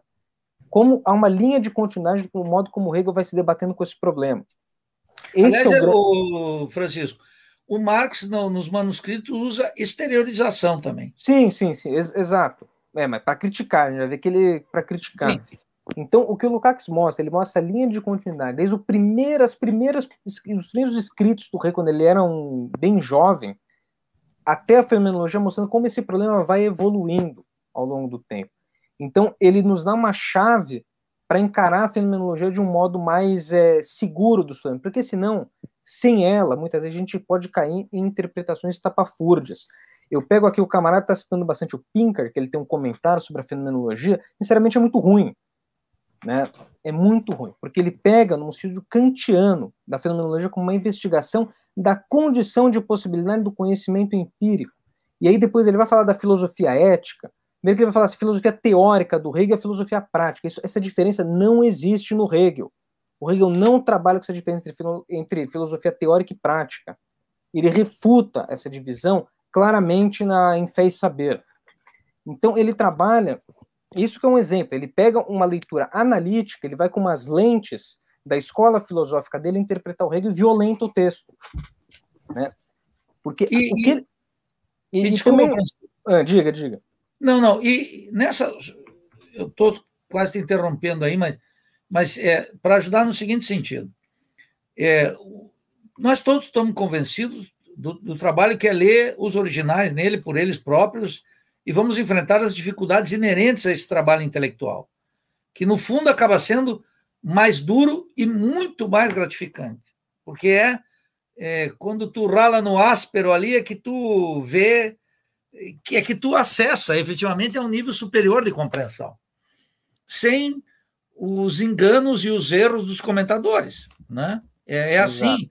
Eu fiz isso com Adam Smith, com o Ricardo e, e com o próprio Marx, vamos diretamente a eles. Até hoje, quero dizer, brigo na faculdade porque quando dou economia clássica, dou para os alunos estudarem William Pett, Mandeville, Smith, Ricardo, e tem professores que acham que isso é verdadeiramente que basta um manual, né? Resumindo tudo. É, colocaria exatamente. A resposta é essa: coloca um manual que. É, Resume em 10 páginas cada um e tá, dá por é, isso. Só que os alunos, quando entram na leitura do original, é muito compensador. Quer dizer, aquela parte dos alunos que quer pegar ele touro pelos cuernos avança um milhão de vezes mais. Mas eu queria perguntar aqui, sobretudo, o seguinte: e o auxílio da, da enciclopédia? e dos textos do Hegel sobre o seu sistema. É, aí... Ô, Nildo. Fala aí, Bruce, depois eu ah, volto. Só, eu só preciso fazer mais um Não, Só para corroborar, então, Bruce, eu estou de pleno acordo com a posição do Sandro, é a posição de todos nós. Eu, eu vou te falar até mais, Nildo. Eu cometi esse erro, porque três estudos sobre Hegel de Adorno e os textos que Derrida tem sobre Hegel. E eu achava que ali tinha uma chave de compreensão de Hegel. Eu não podia estar indo mais errado. Eu estava indo numa chave epistemológica, como a dor não foi, ou semiótica, como foi Derrida, para justificar o seu desconstrucionismo como sendo uma fase superior de Hegel, quando não é mais do livro e, da, e é da, da gramática, né, a gramatologia. Erros que eu cometi, mas pelo menos eu, eu vejo hoje onde está o erro. E eu preciso, eu, e o que o Francisco colocou é muito importante, eu só enxerguei esses erros porque eu li Lukács, ou Lukács, dê o nome que quiser. Mas porque eu li. Lukács. Porque lá você tem a crítica que ele que no final das contas é, é, é, tentar sair de uma ontologia, de uma consciência ingênua. Esse é o ponto todo. Por que, que você chega em Derrida ou no neopragmatismo? Porque, no final das contas, a linguagem ela não se sustenta, ela não tem a praxis como uma mediação. Então, esquece a filosofia do século XX que se apoia num, numa circularidade linguística que não tem centralidade. É, é, é cair num, num, desconstrucionismo, num neopragmatismo, que é a filosofia da social-democracia, onde as diferenças podem participar. E é isso. É tentar justificar essa, essa dimensão política. Então, Nildo, o que o Sandro colocou e o Francisco colocou é importante, porque se você pegar a obra errada, e todas elas que eu li até hoje me levaram para um caminho errado, você vai achar que está entendendo Hegel, achar que está criticando Hegel, e não passou nem perto da fenomenologia do espírito. Exatamente. Então, não, e... É, é, isso é importante ter, porque eu estou falando das minhas ciladas. Né? Não, e, e, a questão, assim, é... o que o Lukács ajuda, então, eu justamente assim, se uma obra, eu recomendar uma obra seria o Jovem Hegel. É, olha, eu, eu, li muita coisa, eu acho que de longe a melhor coisa já escrita sobre Hegel, afora os comentários do Marx, né? E que muita. Mas aí também, mesmo na chave de Você leitura. Você está falando do jovem Hegel? Jovem Hegel. Mesmo no que se refere, o último capítulo que ele trata da fenomenologia, que não é um comentário, é só uma. Ele recapitula todos os problemas elaborados antes, mostra como é, ele. Como, como a fenomenologia vai recuperar aqueles problemas e botar no nível superior, mas mesmo ali ele dá uma chave assim que nenhum outro comentador fala que ele bota a estrutura da fenomenologia para você.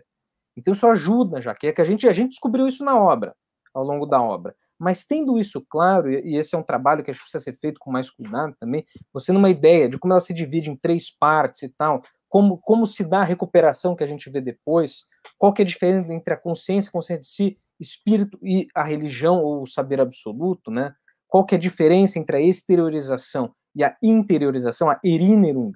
Então, o Lukács ajuda até nisso, mas é o único realmente que eu recomendaria. Assim, tem muitos caras bons, mas aí não é introdutório, aí é, é que você está querendo complementar. Aí tem vários caras, tem o, o Jacques Duhont, né, que o próprio Losurdo, ele tem algumas coisas boas, o problema nacional em Hegel, o Losurdo trata muito bem. Naquele é, livro que você disse que só está em italiano, né? É, Hegel e, a, e La Germania. O, o Losurdo, ele, ele, é um caso particular, assim, de que ele é, ele é o melhor acadêmico do que intelectual ele presta mais para a gente como acadêmico do que quando ele tenta ser intelectual marxista, só fala besteira. É, é que como intelectual ele tinha que ser um homem da praxis política. Ele é do Comitê Central do Partido Comunista, mas não tem não tem uma é, linha escrita sim, sobre a luta de não tem uma linha escrita sobre a luta de classes na Itália, que é, é o que faria um marxista. Diz, bom, aqui agora vamos para a praxis. É, mas que mas, bom esse, que bom esse depoimento, eu acho que é bom para todo mundo que fica, não é, Sandra, esse depoimento, sobretudo do Bruce aí, que a entrada que ele tinha de Hegel, eu acho que isso é de muita valia para todos os que estão nesse curso, né? É, diz, olha, eu pensei que tinha uma sacada de Hegel através de Derrida e qual foi o outro, Bruce? Ah, ah e de Adorno. E de Adorno. Adorno. E olha que Adorno é um sujeito bastante divulgado no Brasil, né? A escola de Frankfurt é dominante no Brasil, de, no ambiente da esquerda. Pensamento piano ali na filosofia. Os pianos são e, e, na prática são todos frankfurtianos. Eu estava dizendo para o Bruce e não por Marcuse que tem que não queria deixar mensagens em garrafas a despeito das suas limitações. Mas ele era o cara que, ao contrário do Adorno, Horkheimer e todos os demais, foi para a luta política. É, ele queria as barricadas. Então, tinha o tema da praxis, sua obra tem isso.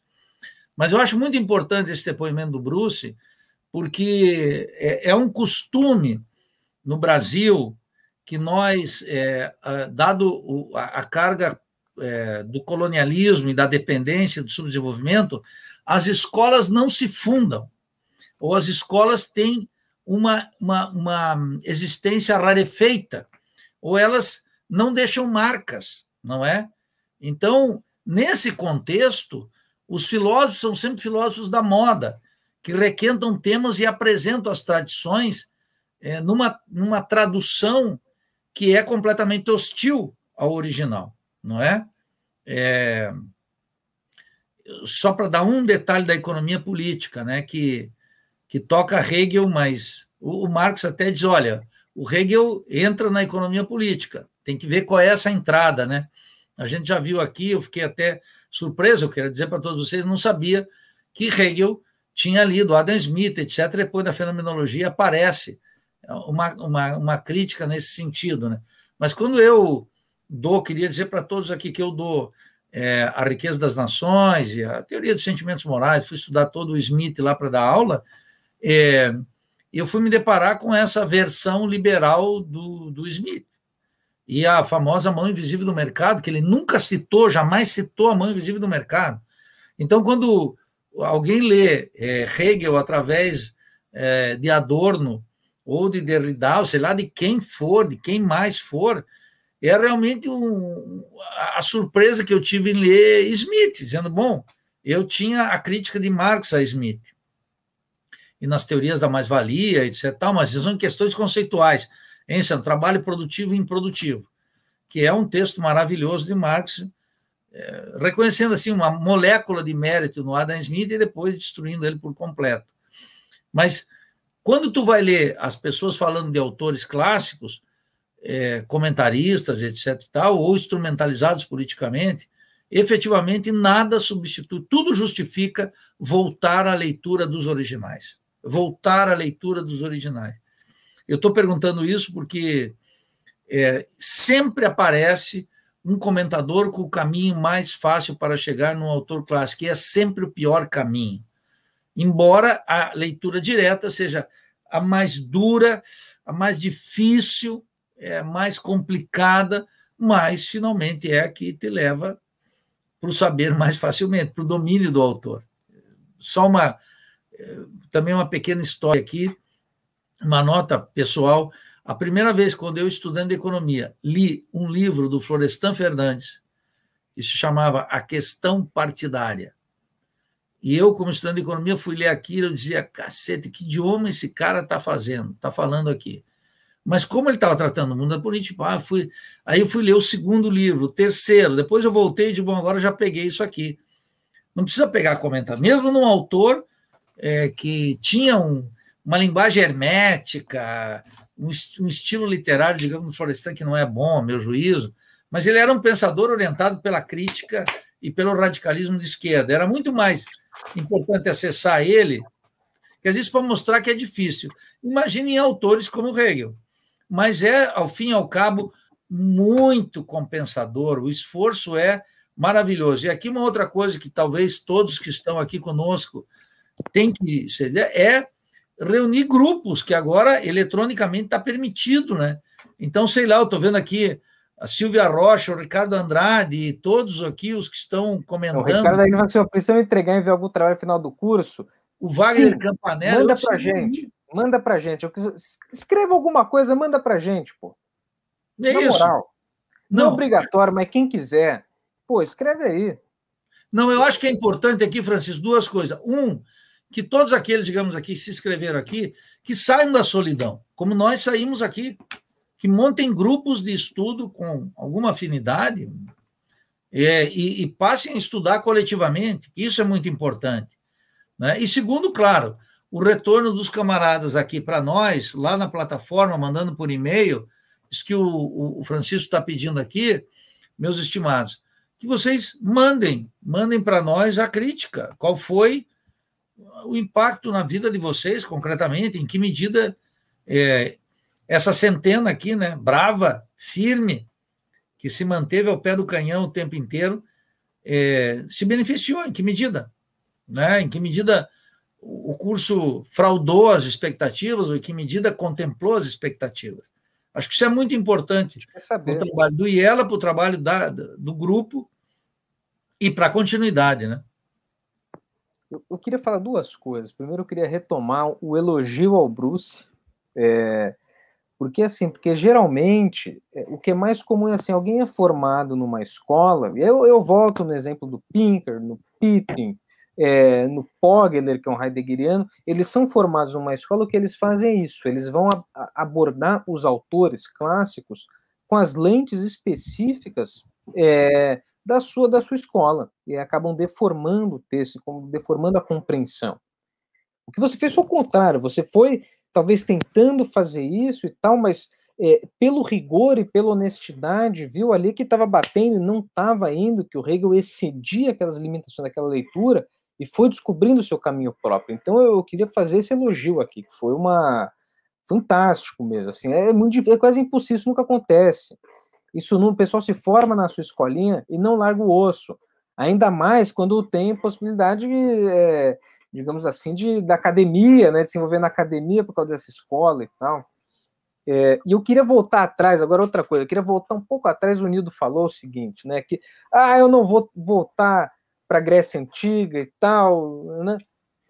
Eu queria um negócio assim, eu queria não que ele, o Nildo, tenha que voltar, mas eu acho que há um, há um interesse também. No sentido, vou, vou usar o conceito hegeliano de rememoração. Porque os problemas que aqueles, aqueles pensadores enfrentaram, querendo ou não, na medida em que eles compõem a história da humanidade, ainda refletem problemas nossos, de um modo ou de outro. O que eu estou fazendo aqui agora por exemplo, que eu estou fazendo agora, eu estou voltando no Elvésio. O Elvésio, que é o cara que o, o, o Hegel mais se refere ali na parte do iluminismo, especialmente no conceito de utilidade e na crítica à religião, né? Eu estou voltando aqui nessa obra, esse aqui é um livro sobre ele, né? Não é de 1907. Isso aqui, vamos ver se dá para ver aqui ó, a data. Cadê? Cadê a data? Está aqui. Está em francês. Está em francês. 1907. Esse é um autor maldito, né, e que o Hegel ele expressou grande admiração ali na fenomenologia quando ele fala da utilidade, faz a crítica, expressa. E qual era o problema dele? Ele botava o problema do ateísmo completamente e da educação, né? A educação que não era pela via da religião, mas a experiência social na educação. Então é e, e o que eu digo assim, o estudo da história da filosofia, ele não precisa ser um negócio acadêmico mas sim no sentido de que você pode estudar um autor, assim, com todo rigor, mas sendo alimentado pelos problemas da realidade. Então, o Elvésio voltar nele, porque o problema da religião que a gente estava discutindo, pegar o cara que estava propondo um ateísmo radical e militante. Que século era? Que século é o Vétios? Oi? Que século é? 18. E que foi violentamente perseguido, preso, difamado. O modo como ele se confrontou na religião é, é no meio 1760, 50 e pouco. Ele, é, ele é contemporâneo de Derrot, do Rousseau. Ah, isso que eu ia te perguntar, me, é. me soava aí os enciclopedistas, em particular é, o camarada amado Diderot. Não, o Diderot eles eram parecidos, mas tiveram conflitos também, discutindo ali qual que é o sentido do materialismo, né? Ele estava na França. Estava. Então, é, isso é uma coisa que eu estou voltando, mas toda a história da filosofia, a questão é essa: para não ser um, um, negócio acadêmico, E eu volto numa questão, todo mundo falando assim, o que é uma filosofia brasileira? E aí e rola muito assim, o que é a filosofia brasileira? Rola muito um provincianismo grotesco. É, por a gente fala assim de filosofia francesa, o Descartes nunca falou da França. E nem por isso ele não estava completamente imbuído dos problemas que estavam na sociedade francesa. A questão é essa, a questão que a gente. Ou seja, ou seja, o paralelo de Paris para ele não, não era determinante. Era determinante. Não, não. Não era determinante para o fazer filosofia. Não precisava falar daquilo. Ele estava no. Mas ele estava alimentado pelas contradições da sociedade francesa para botar aquela obra. A questão é essa. O Álvaro Verapinto também, ali no Conselho de Tecnologia, ó, primeiro, ele praticamente não fala do Brasil, ele fala ali no mais para frente, depois de mil e tantas páginas. Mas ele está fazendo uma análise é do mundo contemporâneo, do mundo contemporâneo. Filológica do conceito de técnica, ele vai de Aristóteles para Kant e tal. Mas qual que é o problema que ele, qual que é o problema que alimentou isso? A dependência científica e tecnológica. Então a questão assim, o problema da religião na sociedade brasileira, como é que a gente vai enfrentar? Não, só um pouquinho aí, Francisco. Não, eu estou de acordo, eu só quero fazer uma. Você está fazendo uma precisão que é muito importante. É que é o seguinte: é, o que eu quis dizer com. Eu não, não vou voltar lá, é que uma vez eu me encontrei com o Nestor, não sei se o Sandro conheceu, professor da filosofia, e, e o Nestor aqui, que é um grande amigo, militante também, faz tempo que eu não o vejo. Dizia, olha, o problema da filosofia é o seguinte: o que, que me ordena voltar? São os problemas contemporâneos. Essa semana eu pedi isso aqui, ó. Olha só. A redução dos juros. Considerações sobre as consequências da redução dos juros. Controlar juro ou não, Sandro? Locke, século XVII. Então, eu volto a partir de uma determinação aqui, imediata. Então, volto lá. Como eu dou a, a política de Aristóteles para os alunos da economia clássica para fazer a diferenciação entre economia e crematística, quatro séculos antes de Cristo. Quer dizer, já estava lá. Ele já viu, ele já viu a sementinha, ele disse, bom, agora isso aqui vai se desenvolver. Como? Pô, aí tem vários séculos. Então, eu não falei isso, mas é muito bom que o Francisco tenha feito essa correção, porque dá a impressão de que nós ficaríamos prisioneiros do, do, do último grito da filosofia. É, como se a filosofia clássica e todos os autores anteriores estivessem falando de uma antiguidade que não, não nos não toca mais. Não, isso, isso é uma coisa, assim, porque esse pessoal que clama, ah, precisamos de uma filosofia nacional e tal, como é que eles, com que lentes eles fazem essa filosofia nacional? Com a última moda de Paris. Sim. Ou seja, é o contrário. A diferença, assim, você fazer uma filosofia nacional não é você é, pegar e fazer uma filosofia exclusivamente de temas brasileiros, não. Hermet, hermeticamente cindidos da história e do resto do mundo, mas sim o seu fazer filosófico ser o tempo todo alimentado pelas condições da sociedade brasileira. O tempo todo. Então, quando a gente vai falar de uma filosofia francesa, é, uma filosofia alemã, né? A gente está assim, é filosofia que não necessariamente trata dos problemas específicos da Alemanha. É, o Hegel, no caso, trata, né? Mas ainda assim, é a questão de que a filosofia, mesmo nas questões mais abstratas, está alimentado pelas contradições reais. Está alimentado pelo processo real, né? Então, é, é que justamente a gente voltar num, num, num autor do passado, mesmo que for só para fazer um estudo da sua filosofia sem referência necessariamente ao Brasil, à situação atual, mas sendo alimentado por aquilo, isso também nos ajuda a lançar uma luz para os temas que a gente tem. Então, por exemplo, a gente pensa assim, é, uma questão assim, um amigo meu trabalha muito, o que, que seria uma ética revolucionária? Né? O Adolfo Sanches Vaz trata disso e tal. É, mas a gente pensa assim, o Marcos nunca falou de ética, mas tem uma ética que está pressuposta ali. Então, o que a gente pensa? A gente pensa quais são os grandes é, pensadores que pensaram a ética de um modo concreto no, no seio da luta de classe, como por exemplo Spinoza, o próprio Hegel, mas também de Derrot, e aí comparar os seus logros com a superação que aparece em Marx, nos ajuda a entender Marx, que nos ajuda a entender melhor a sociedade. Então, reflui, as questões surgem da sociedade e, de certo modo, necessariamente refluem para ela. Então, o que seria, o que eu penso que seria uma filosofia brasileira, não é aquela que fica num provincianismo vulgar e que trata as questões nacionais com as lentes da, da filosofia francesa, que, é, que é o que mais. É, é o decolonial, Nildo. O pessoal quer falar da África com a lente da França. Né? O Sim. pessoal quer falar do Brasil com a lente do, do Deleuze, coisa do tipo. Eu queria, sem prejuízo de. de eh, queria perguntar para o Sandro uma coisa aqui, o Francisco e Bruce, que é o seguinte, Sandro. Tu se atracou a ler o Hegel a partir do Marx. O Sandro estava no Marx, casado com Marx. Casado, noivo, apaixonado pelo Marx. Aí, subitamente, diz: Bom, vamos ler o Hegel. Vai e começa a estudar o Hegel.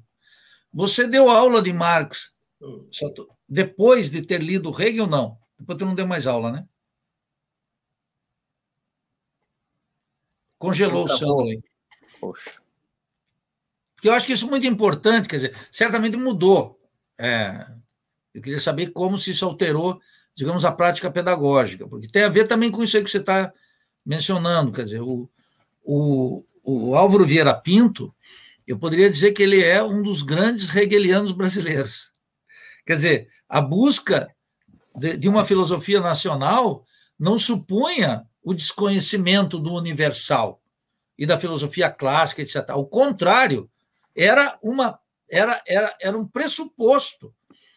Então, realidade e consciência nacional, consciência, quer dizer, é um livro puta, hegeliano no trato, na escrita, no enfoque, em tudo, em absolutamente tudo. Né? E, e ciência e existência, igualmente, entendeu? Esse é e... é outro. Esse é outro, que ele não fala do Brasil, mas qual, qual o problema que alimenta? A dependência científica e tecnológica. Totalmente. Ele, Quer dizer, ele, tá foi mais... ciência em termos universais. Ali. Sim, não, totalmente. Aquilo, ciência e existência um, um, um, um, pesquisador da França ou da Irlanda podem ler, ambos, da Inglaterra e da Irlanda, podem ler e dizer assim: isso aqui me diz respeito, profundamente, isso aqui me diz respeito.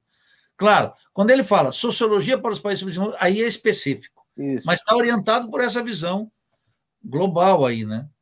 Essa, essa visão, essa visão totalizante, né? Ele tem ali uma sacada, né? O Sandro voltou aí, Sandro?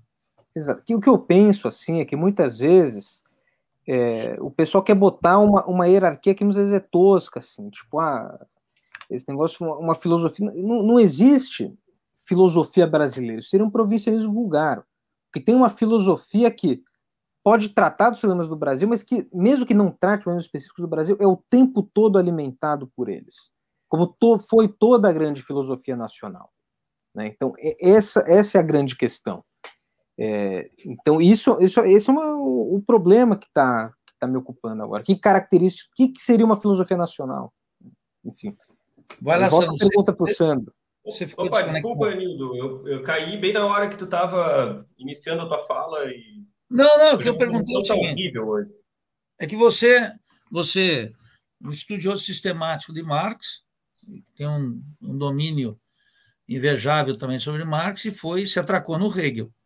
E eu te perguntava se depois de você estudar sistematicamente Hegel, você voltou a dar aula. Eu acho que não, né? Você não deu mais aula depois do estudo do Hegel, aulas de Marx. Não. Né? Mas seria bom, eu queria só um depoimento aqui teu, em que medida o Hegel potencializou o estudo, o Hegel potencializou o estudo de Marx. Olha, primeiro, eu já falei isso aqui no grupo, aqui, falei para vocês, eu acho que até já. Mas não para o público. É, acho que não para o público, mas é, é, assim, por que, que eu cheguei no Hegel? Por que, que me interessou o Hegel? Né? Bom, primeiro que quem estuda Marx é, é a, a, a iminência parda do marxismo é, uma, é o Hegel, está né? Tá ali. Né? Então, fica sempre... Conta isso para os autosserianos. É, fica em reserva, né? É, sim, daí é outra jogada.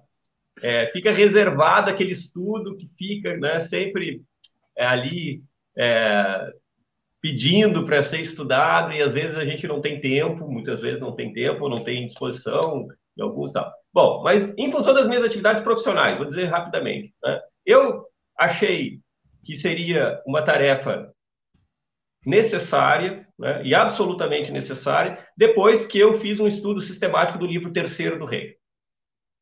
Né? O livro terceiro do Hegel sobre o sistema de crédito e, sobretudo, os conceitos de Do capital Marx, né? fictício. De Marx. né, de uma, opa, desculpa. Conceitos de capital fictício e, e as contradições propriamente daquela forma, privada e social ao mesmo tempo, né? O clímax de um- uma categoria que é, é, se apresenta como uma categoria na forma privada, mas ela é o clímax de uma relação social absolutamente já socializada, né? Que é o capital industrial na sua forma do sistema de ações, por exemplo. Né? Então ali coloca um conjunto de problemas, né? é, que transitar por dentro da dialética propriamente dita, e, sobretudo, sobre os aspectos da contradição, que o próprio Hegel a gente vai acabar se familiarizando com isso, né? é absolutamente necessário. né?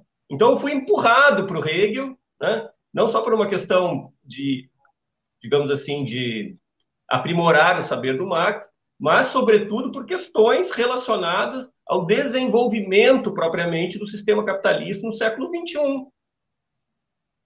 Então teve esse aspecto. Né? Não é lá como se. A gente, Nildo, quando eu entrei nos anos 90, na universidade tinha aquela história que os clássicos eram, os liberais diziam isso, a cultura econômica. Né? Claro que para eles a cultura vem sempre de uma forma depreciada. Né? Ler os clássicos nada mais é do que se cultivar ali. Né? Agora, Exatamente. se trata de outra coisa. Os anos 90 fez isso com os clássicos, é um cultivo. Né? É um cultivo para ostentar uma certa erudição. Para os economistas, nem isso mais. Né? Agora, se trata de outra coisa. Se trata de outra coisa. Transitar por esses textos, transitar sobre as, o Hegel com a dialética, os processos de contradição, o próprio movimento, e depois as essencialidades que nós vamos estudar lá no, na ciência da lógica, é fundamental para dar conta do que, no meu entendimento, é, é, é a compreensão insubstituível do capitalismo, que é o Marx. Né? Ninguém que não estudou Marx pode ser levado a sério no que diz respeito né, à discussão sobre o capitalismo no século XXI, ou seja, sobre a sociedade do século XXI. Eu não levo, não consigo levar a sério. Quem desconsidera esse tipo de reflexão, como é agora, né, é, como se dá agora, né, vai dizer coisas importantes para a universidade, para os acadêmicos, para os congressos, para passar, em, para passar nos concursos de doutoramento, para passar nos concursos de, de professor, de docente, mas não vai dizer nada muito importante. Sobre aquilo que nos interessa. Agora, um, um parênteses aqui, né? É, por que, que gente, eu jamais tinha estudado ética, por exemplo? Isso era uma limitação própria dos economistas, é porque o, que o Francisco já nos, de alguma forma já tinha nos já nos colocou essa questão, que a ética não aparece posta no mar, se trata de outra coisa. Né? Ela é, é, uma temática que precisa ser espiritualizada, digamos assim, no sentido do rei, tem que ser compreendida dentro do processo todo do rei, do Marx. Né? O que, que eu fiz agora? O que, que eu comecei a, digamos assim, ficar mais atento quando eu estudei o Hegel? O que, que é a eticidade Hegel? Então, então, agora veja, Sandro, tu sabe que numa conversa com Henrique Dussel, lá no México. Ele dizia o seguinte: a função do filósofo na América Latina é o estudo da ética. E eu pois sempre é. fui, e ele diz, e eu sempre fui, isso é uma conversa pessoal, eu sempre fui um ético. E o Vior é um ético, e o Santos Vasquez é ética, e todos são ética.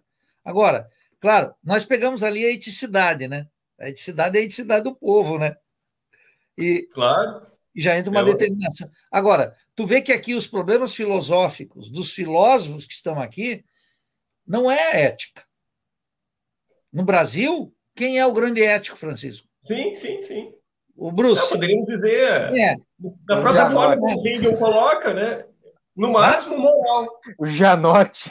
É. Não, mentira, ele nem fala de ética, ele só fala sobre linguagem. Então, essa compreensão, é, né, digamos assim, mais profunda do, da reflexão moral e da reflexão ética, né, que tem uma outra substancialidade, está em é, Hegel. A diferença disso. Não é por acaso que o Marx é tão, é, muitas vezes, irônico e às vezes até sarcástico, na verdade, né, sobre o moralismo da economia política. Não, total. Aliás, o Marx é, ele liquida. Tem aquele texto, né, a crítica moralizante e a, moraliz... e a, e a, e a moralidade criticizante, e a moral criticizante. Mas o então... Marx é um cara que, ele, aquela famosa frase, né, a, a moral é a impotência em ação. Mas, claro, tu vê que tanto o Santos Vasquez como o Henrique Dussel fundamento a sua ética no Marx. No Marx, vão no Marx. Claro, pegam Hegel, pegam tudo lá, anterior, toda a tradição filosófica, mas o Marx liquidou a parada. Embora tu vai encontrar cinco linhas. Né, pega a tradição filosófica para entender melhor o Marx, né? Entender Claro, o claro. caminho que conduz a ele, qual, qual a perspectiva que ele tenta superar, né? Então, esse é o É, ponto. assim, nesse caso, em particular, a questão da ética em Marx, não se chega nela diretamente estudando Marx. Por isso que ela é um objeto dos filósofos marxistas. Porque precisa desta... Agora eu vi isso, claramente, com o Hegel. Né? Claramente eu vi isso. Precisa desse, desse, desse material prévio. Né? Senão não se chega imediatamente. Né? Por quê? Porque a ética hegeliana, digamos assim, está ali na base, de certo modo. E mesmo uma Então, série acho de outros viu, problemas, que é o né? espírito, o povo, né? A ma- É, mas é que aí a ética está, tá, digamos assim, está subsumida. Isso. Está subsumida, digamos, à, à dialética hegeliana. Então, por exemplo, uma das coisas que a gente não se engana mais, aqui na política, quando tu está vendo, os caras dizem, vamos colocar é, ética na política. Aí tu dizia, a primeira vez não que é eu, ética, isso é moral. Moral. É, não, mas aí eu vi, eu olhei aquilo, achei estranho e fui direto num texto do Santos Vasque, que é Ética Política e Moral, na direita e na esquerda. Aí diz assim, aí diz assim, a pilantragem na política sendo fomentada também pelos filósofos, a ética, a moral, etc. No Hegel está subsumida a, um, a uma, uma totalidade muito particular, que é esse movimento. Né? Então, está ali, está ali constitutivo, às vezes saliente, né? Quando ele discute o tema da moral, né? Está tudo discutido no Hegel, mas está tudo bem amarrado, não tem espaço para, digamos assim, a pilantragem, a safadeza. Até essa imanência, né, em que a moral, ela é, ela é, ela se manifesta a partir de condições que a eticidade propicia.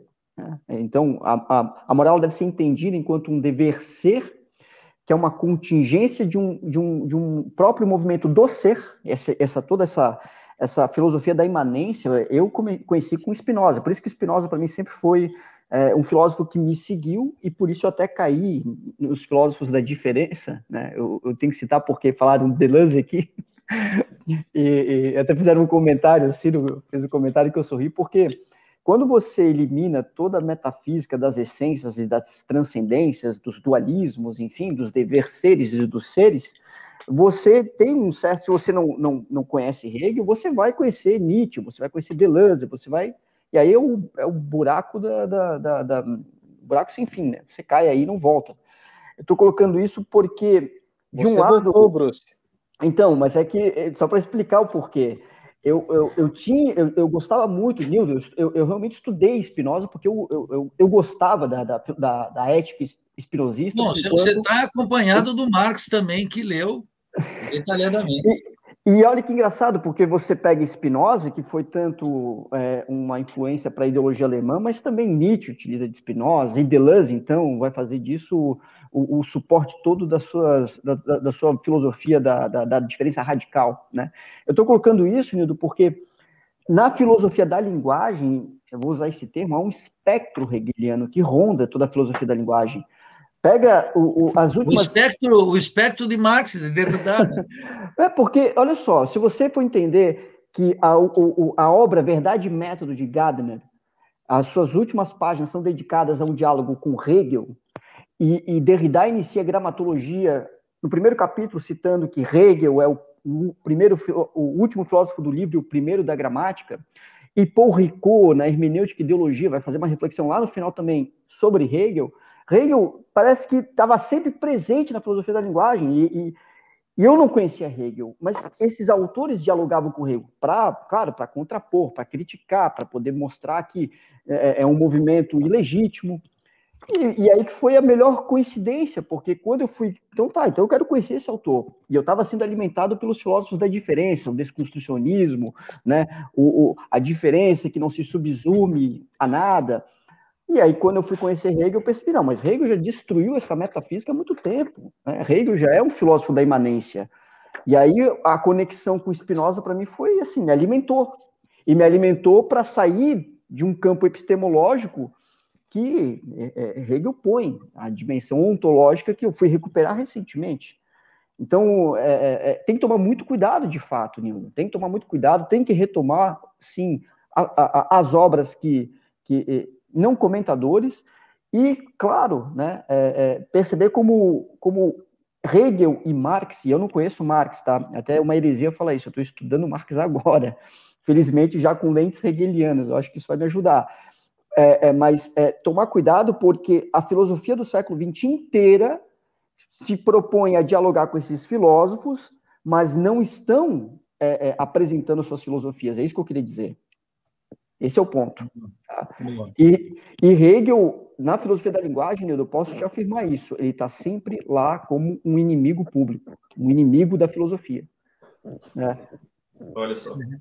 Ô, Nildo, eu queria retomar aqui o, aquela questão da ética. Eu lembrei aqui, ó, esse, esse cara aqui, ó, gente, não é muito bom, né? Mas olha o que ele fala aqui, ó. No último capítulo, conceito de tecnologia que a gente estava falando, como ele é alimentado pelos problemas nacionais, mas olha aonde redunda, olha onde deságua, no último capítulo aqui, ó. Aqui, ó, capítulo. Volume 2. Isso, volume 2 do capítulo 16, volume 2, Tecnologias, Escatologias e Classes Sociais. Aí tem a parte 1, um, progresso, progresso técnico e os problemas morais. E o 2 aqui é mais importante, defesa das concepções expostas neste ensaio, a noção crítica de ética, o significado da história. É uma ética. O conceito de tecnologia do Álvaro Vieira Pinto é uma ética. Não, esse, Aí, essa obra, naturalmente, é uma obra póstuma, né? junto com a sociologia, que um, foi descoberta. As duas maiores obras dele, na minha opinião, é o, é o auge do, do, pensamento dele, são essas duas obras. É, ele voltou para o Brasil e aí ficou é, confinado num apartamento, escrevendo. É, voltou para o Brasil num acordo com os militares de não se meter mais em política. Quer dizer, assumiu a derrota e mas deu o troco. Deu o troco. Você veja que isso é muito importante, Sandro. Ele vem, ele é expulso do Brasil, vai para o Chile, escreve um tratado sobre demografia, que é o único, não está traduzido ao português ainda, que é muito bom. Um tratado sobre, um tratado crítico sobre a demografia. E volta para o Brasil, é, fica confinado no Rio de Janeiro, num apartamento, escrevendo o conceito de tecnologia e sociologia para os países subdesenvolvidos. E não participa mais de política, ele era uma figura importante no ISEB, que foi a primeira instituição fechada pela ditadura. O ISEB foi a primeiríssima. A primeira instituição que se fecha é o ISEB. Porque, naturalmente, o marxismo tinha avançado ali dentro enormemente, e tinha feito uma cisão completa entre os desenvolvimentismo e o marxismo, da qual Álvaro Vieira Pinto era a expressão mais acabada no terreno da filosofia. Hélio Jaguaribe já tinha sido defenestrado, etc. Guerreiro Ramos já tinha desejado a morte de todos eles, e o Álvaro Vieira Pinto reconhece a derrota pela ditadura, mas o filósofo dá o troco nessas, nessas duas obras póstumas, que é maravilhoso. Quer dizer, bom, meus camaradas, são nove horas e quatro minutos. Eu queria agradecer aqui, então, a, a todos os que nos acompanharam até aqui, esse, essa aula final. É, eu tenho certeza que vários registraram aqui que foi muito bom para eles, mas eu quero confessar que foi muito melhor para nós. para nós aqui foi extraordinário, porque a gente reunia toda semana. Eu digo foi melhor para nós, não há nenhuma dose de egoísmo aí. É que nós estamos reunidos em grupo para discutir toda semana, às vezes a cada 15 dias, mas foi semanal. E isso, para cada um aqui, foi excepcionalmente gratificante. E é essa receita que a gente passa para vocês. Quer dizer, essa, essa experiência que nós tivemos, é, a experiência só é útil se a gente aprende com ela. Tem gente que passa pela experiência e não, não conta nada. Né? Então, essa experiência foi muito valiosa. É, agradeço imensamente aos 60 que estão aqui, a todos que estiveram é, conosco aqui. É, um grande abraço para vocês. Fiquem pendentes, nós vamos continuar dando informações. Tem a ideia de fazer um seminário aberto, tem várias coisas que nós estamos discutindo. Quero dar um muito obrigado a todos vocês. Foi um prazer dividir isso aí com, com o Francisco, com o Sandro, com o Bruce. Nos tornou muito mais próximos, muito mais críticos e muito mais dispostos né, a continuar trabalhando sistematicamente nesse terreno da teoria. Essa teoria que é tão vilipendiada na, no mundo da política, da compreensão crítica do Brasil, a teoria tem, tem um desprezo pela teoria verdadeiramente espantoso e que nós não vamos esmorecer. Vamos aqui, como, um, como dizia o Gregório Serra, um pequeno exército louco, mandando bala. E, e, é, e como, diz o, como diz a gauchada, enquanto tiver bambu, meus camaradas, vai flecha. E tem muito bambu. Então, obrigado a todos vocês. Queria também agradecer o Matheus, que esteve conosco aqui na técnica, sempre pendente e, e presente aqui. É, e, bom, a todo o pessoal do IELA, a Elaine Tavares, que sempre tratou na divulgação, o Maico Cláudio da Silva, que está sempre conosco, discutindo as coisas. Nós vamos continuar, vamos dar notícias desse seminário de Hegel, que vai continuar firme e forte. Grande abraço a todos vocês, boa noite e um forte abraço. Muito obrigado, hein, pessoal.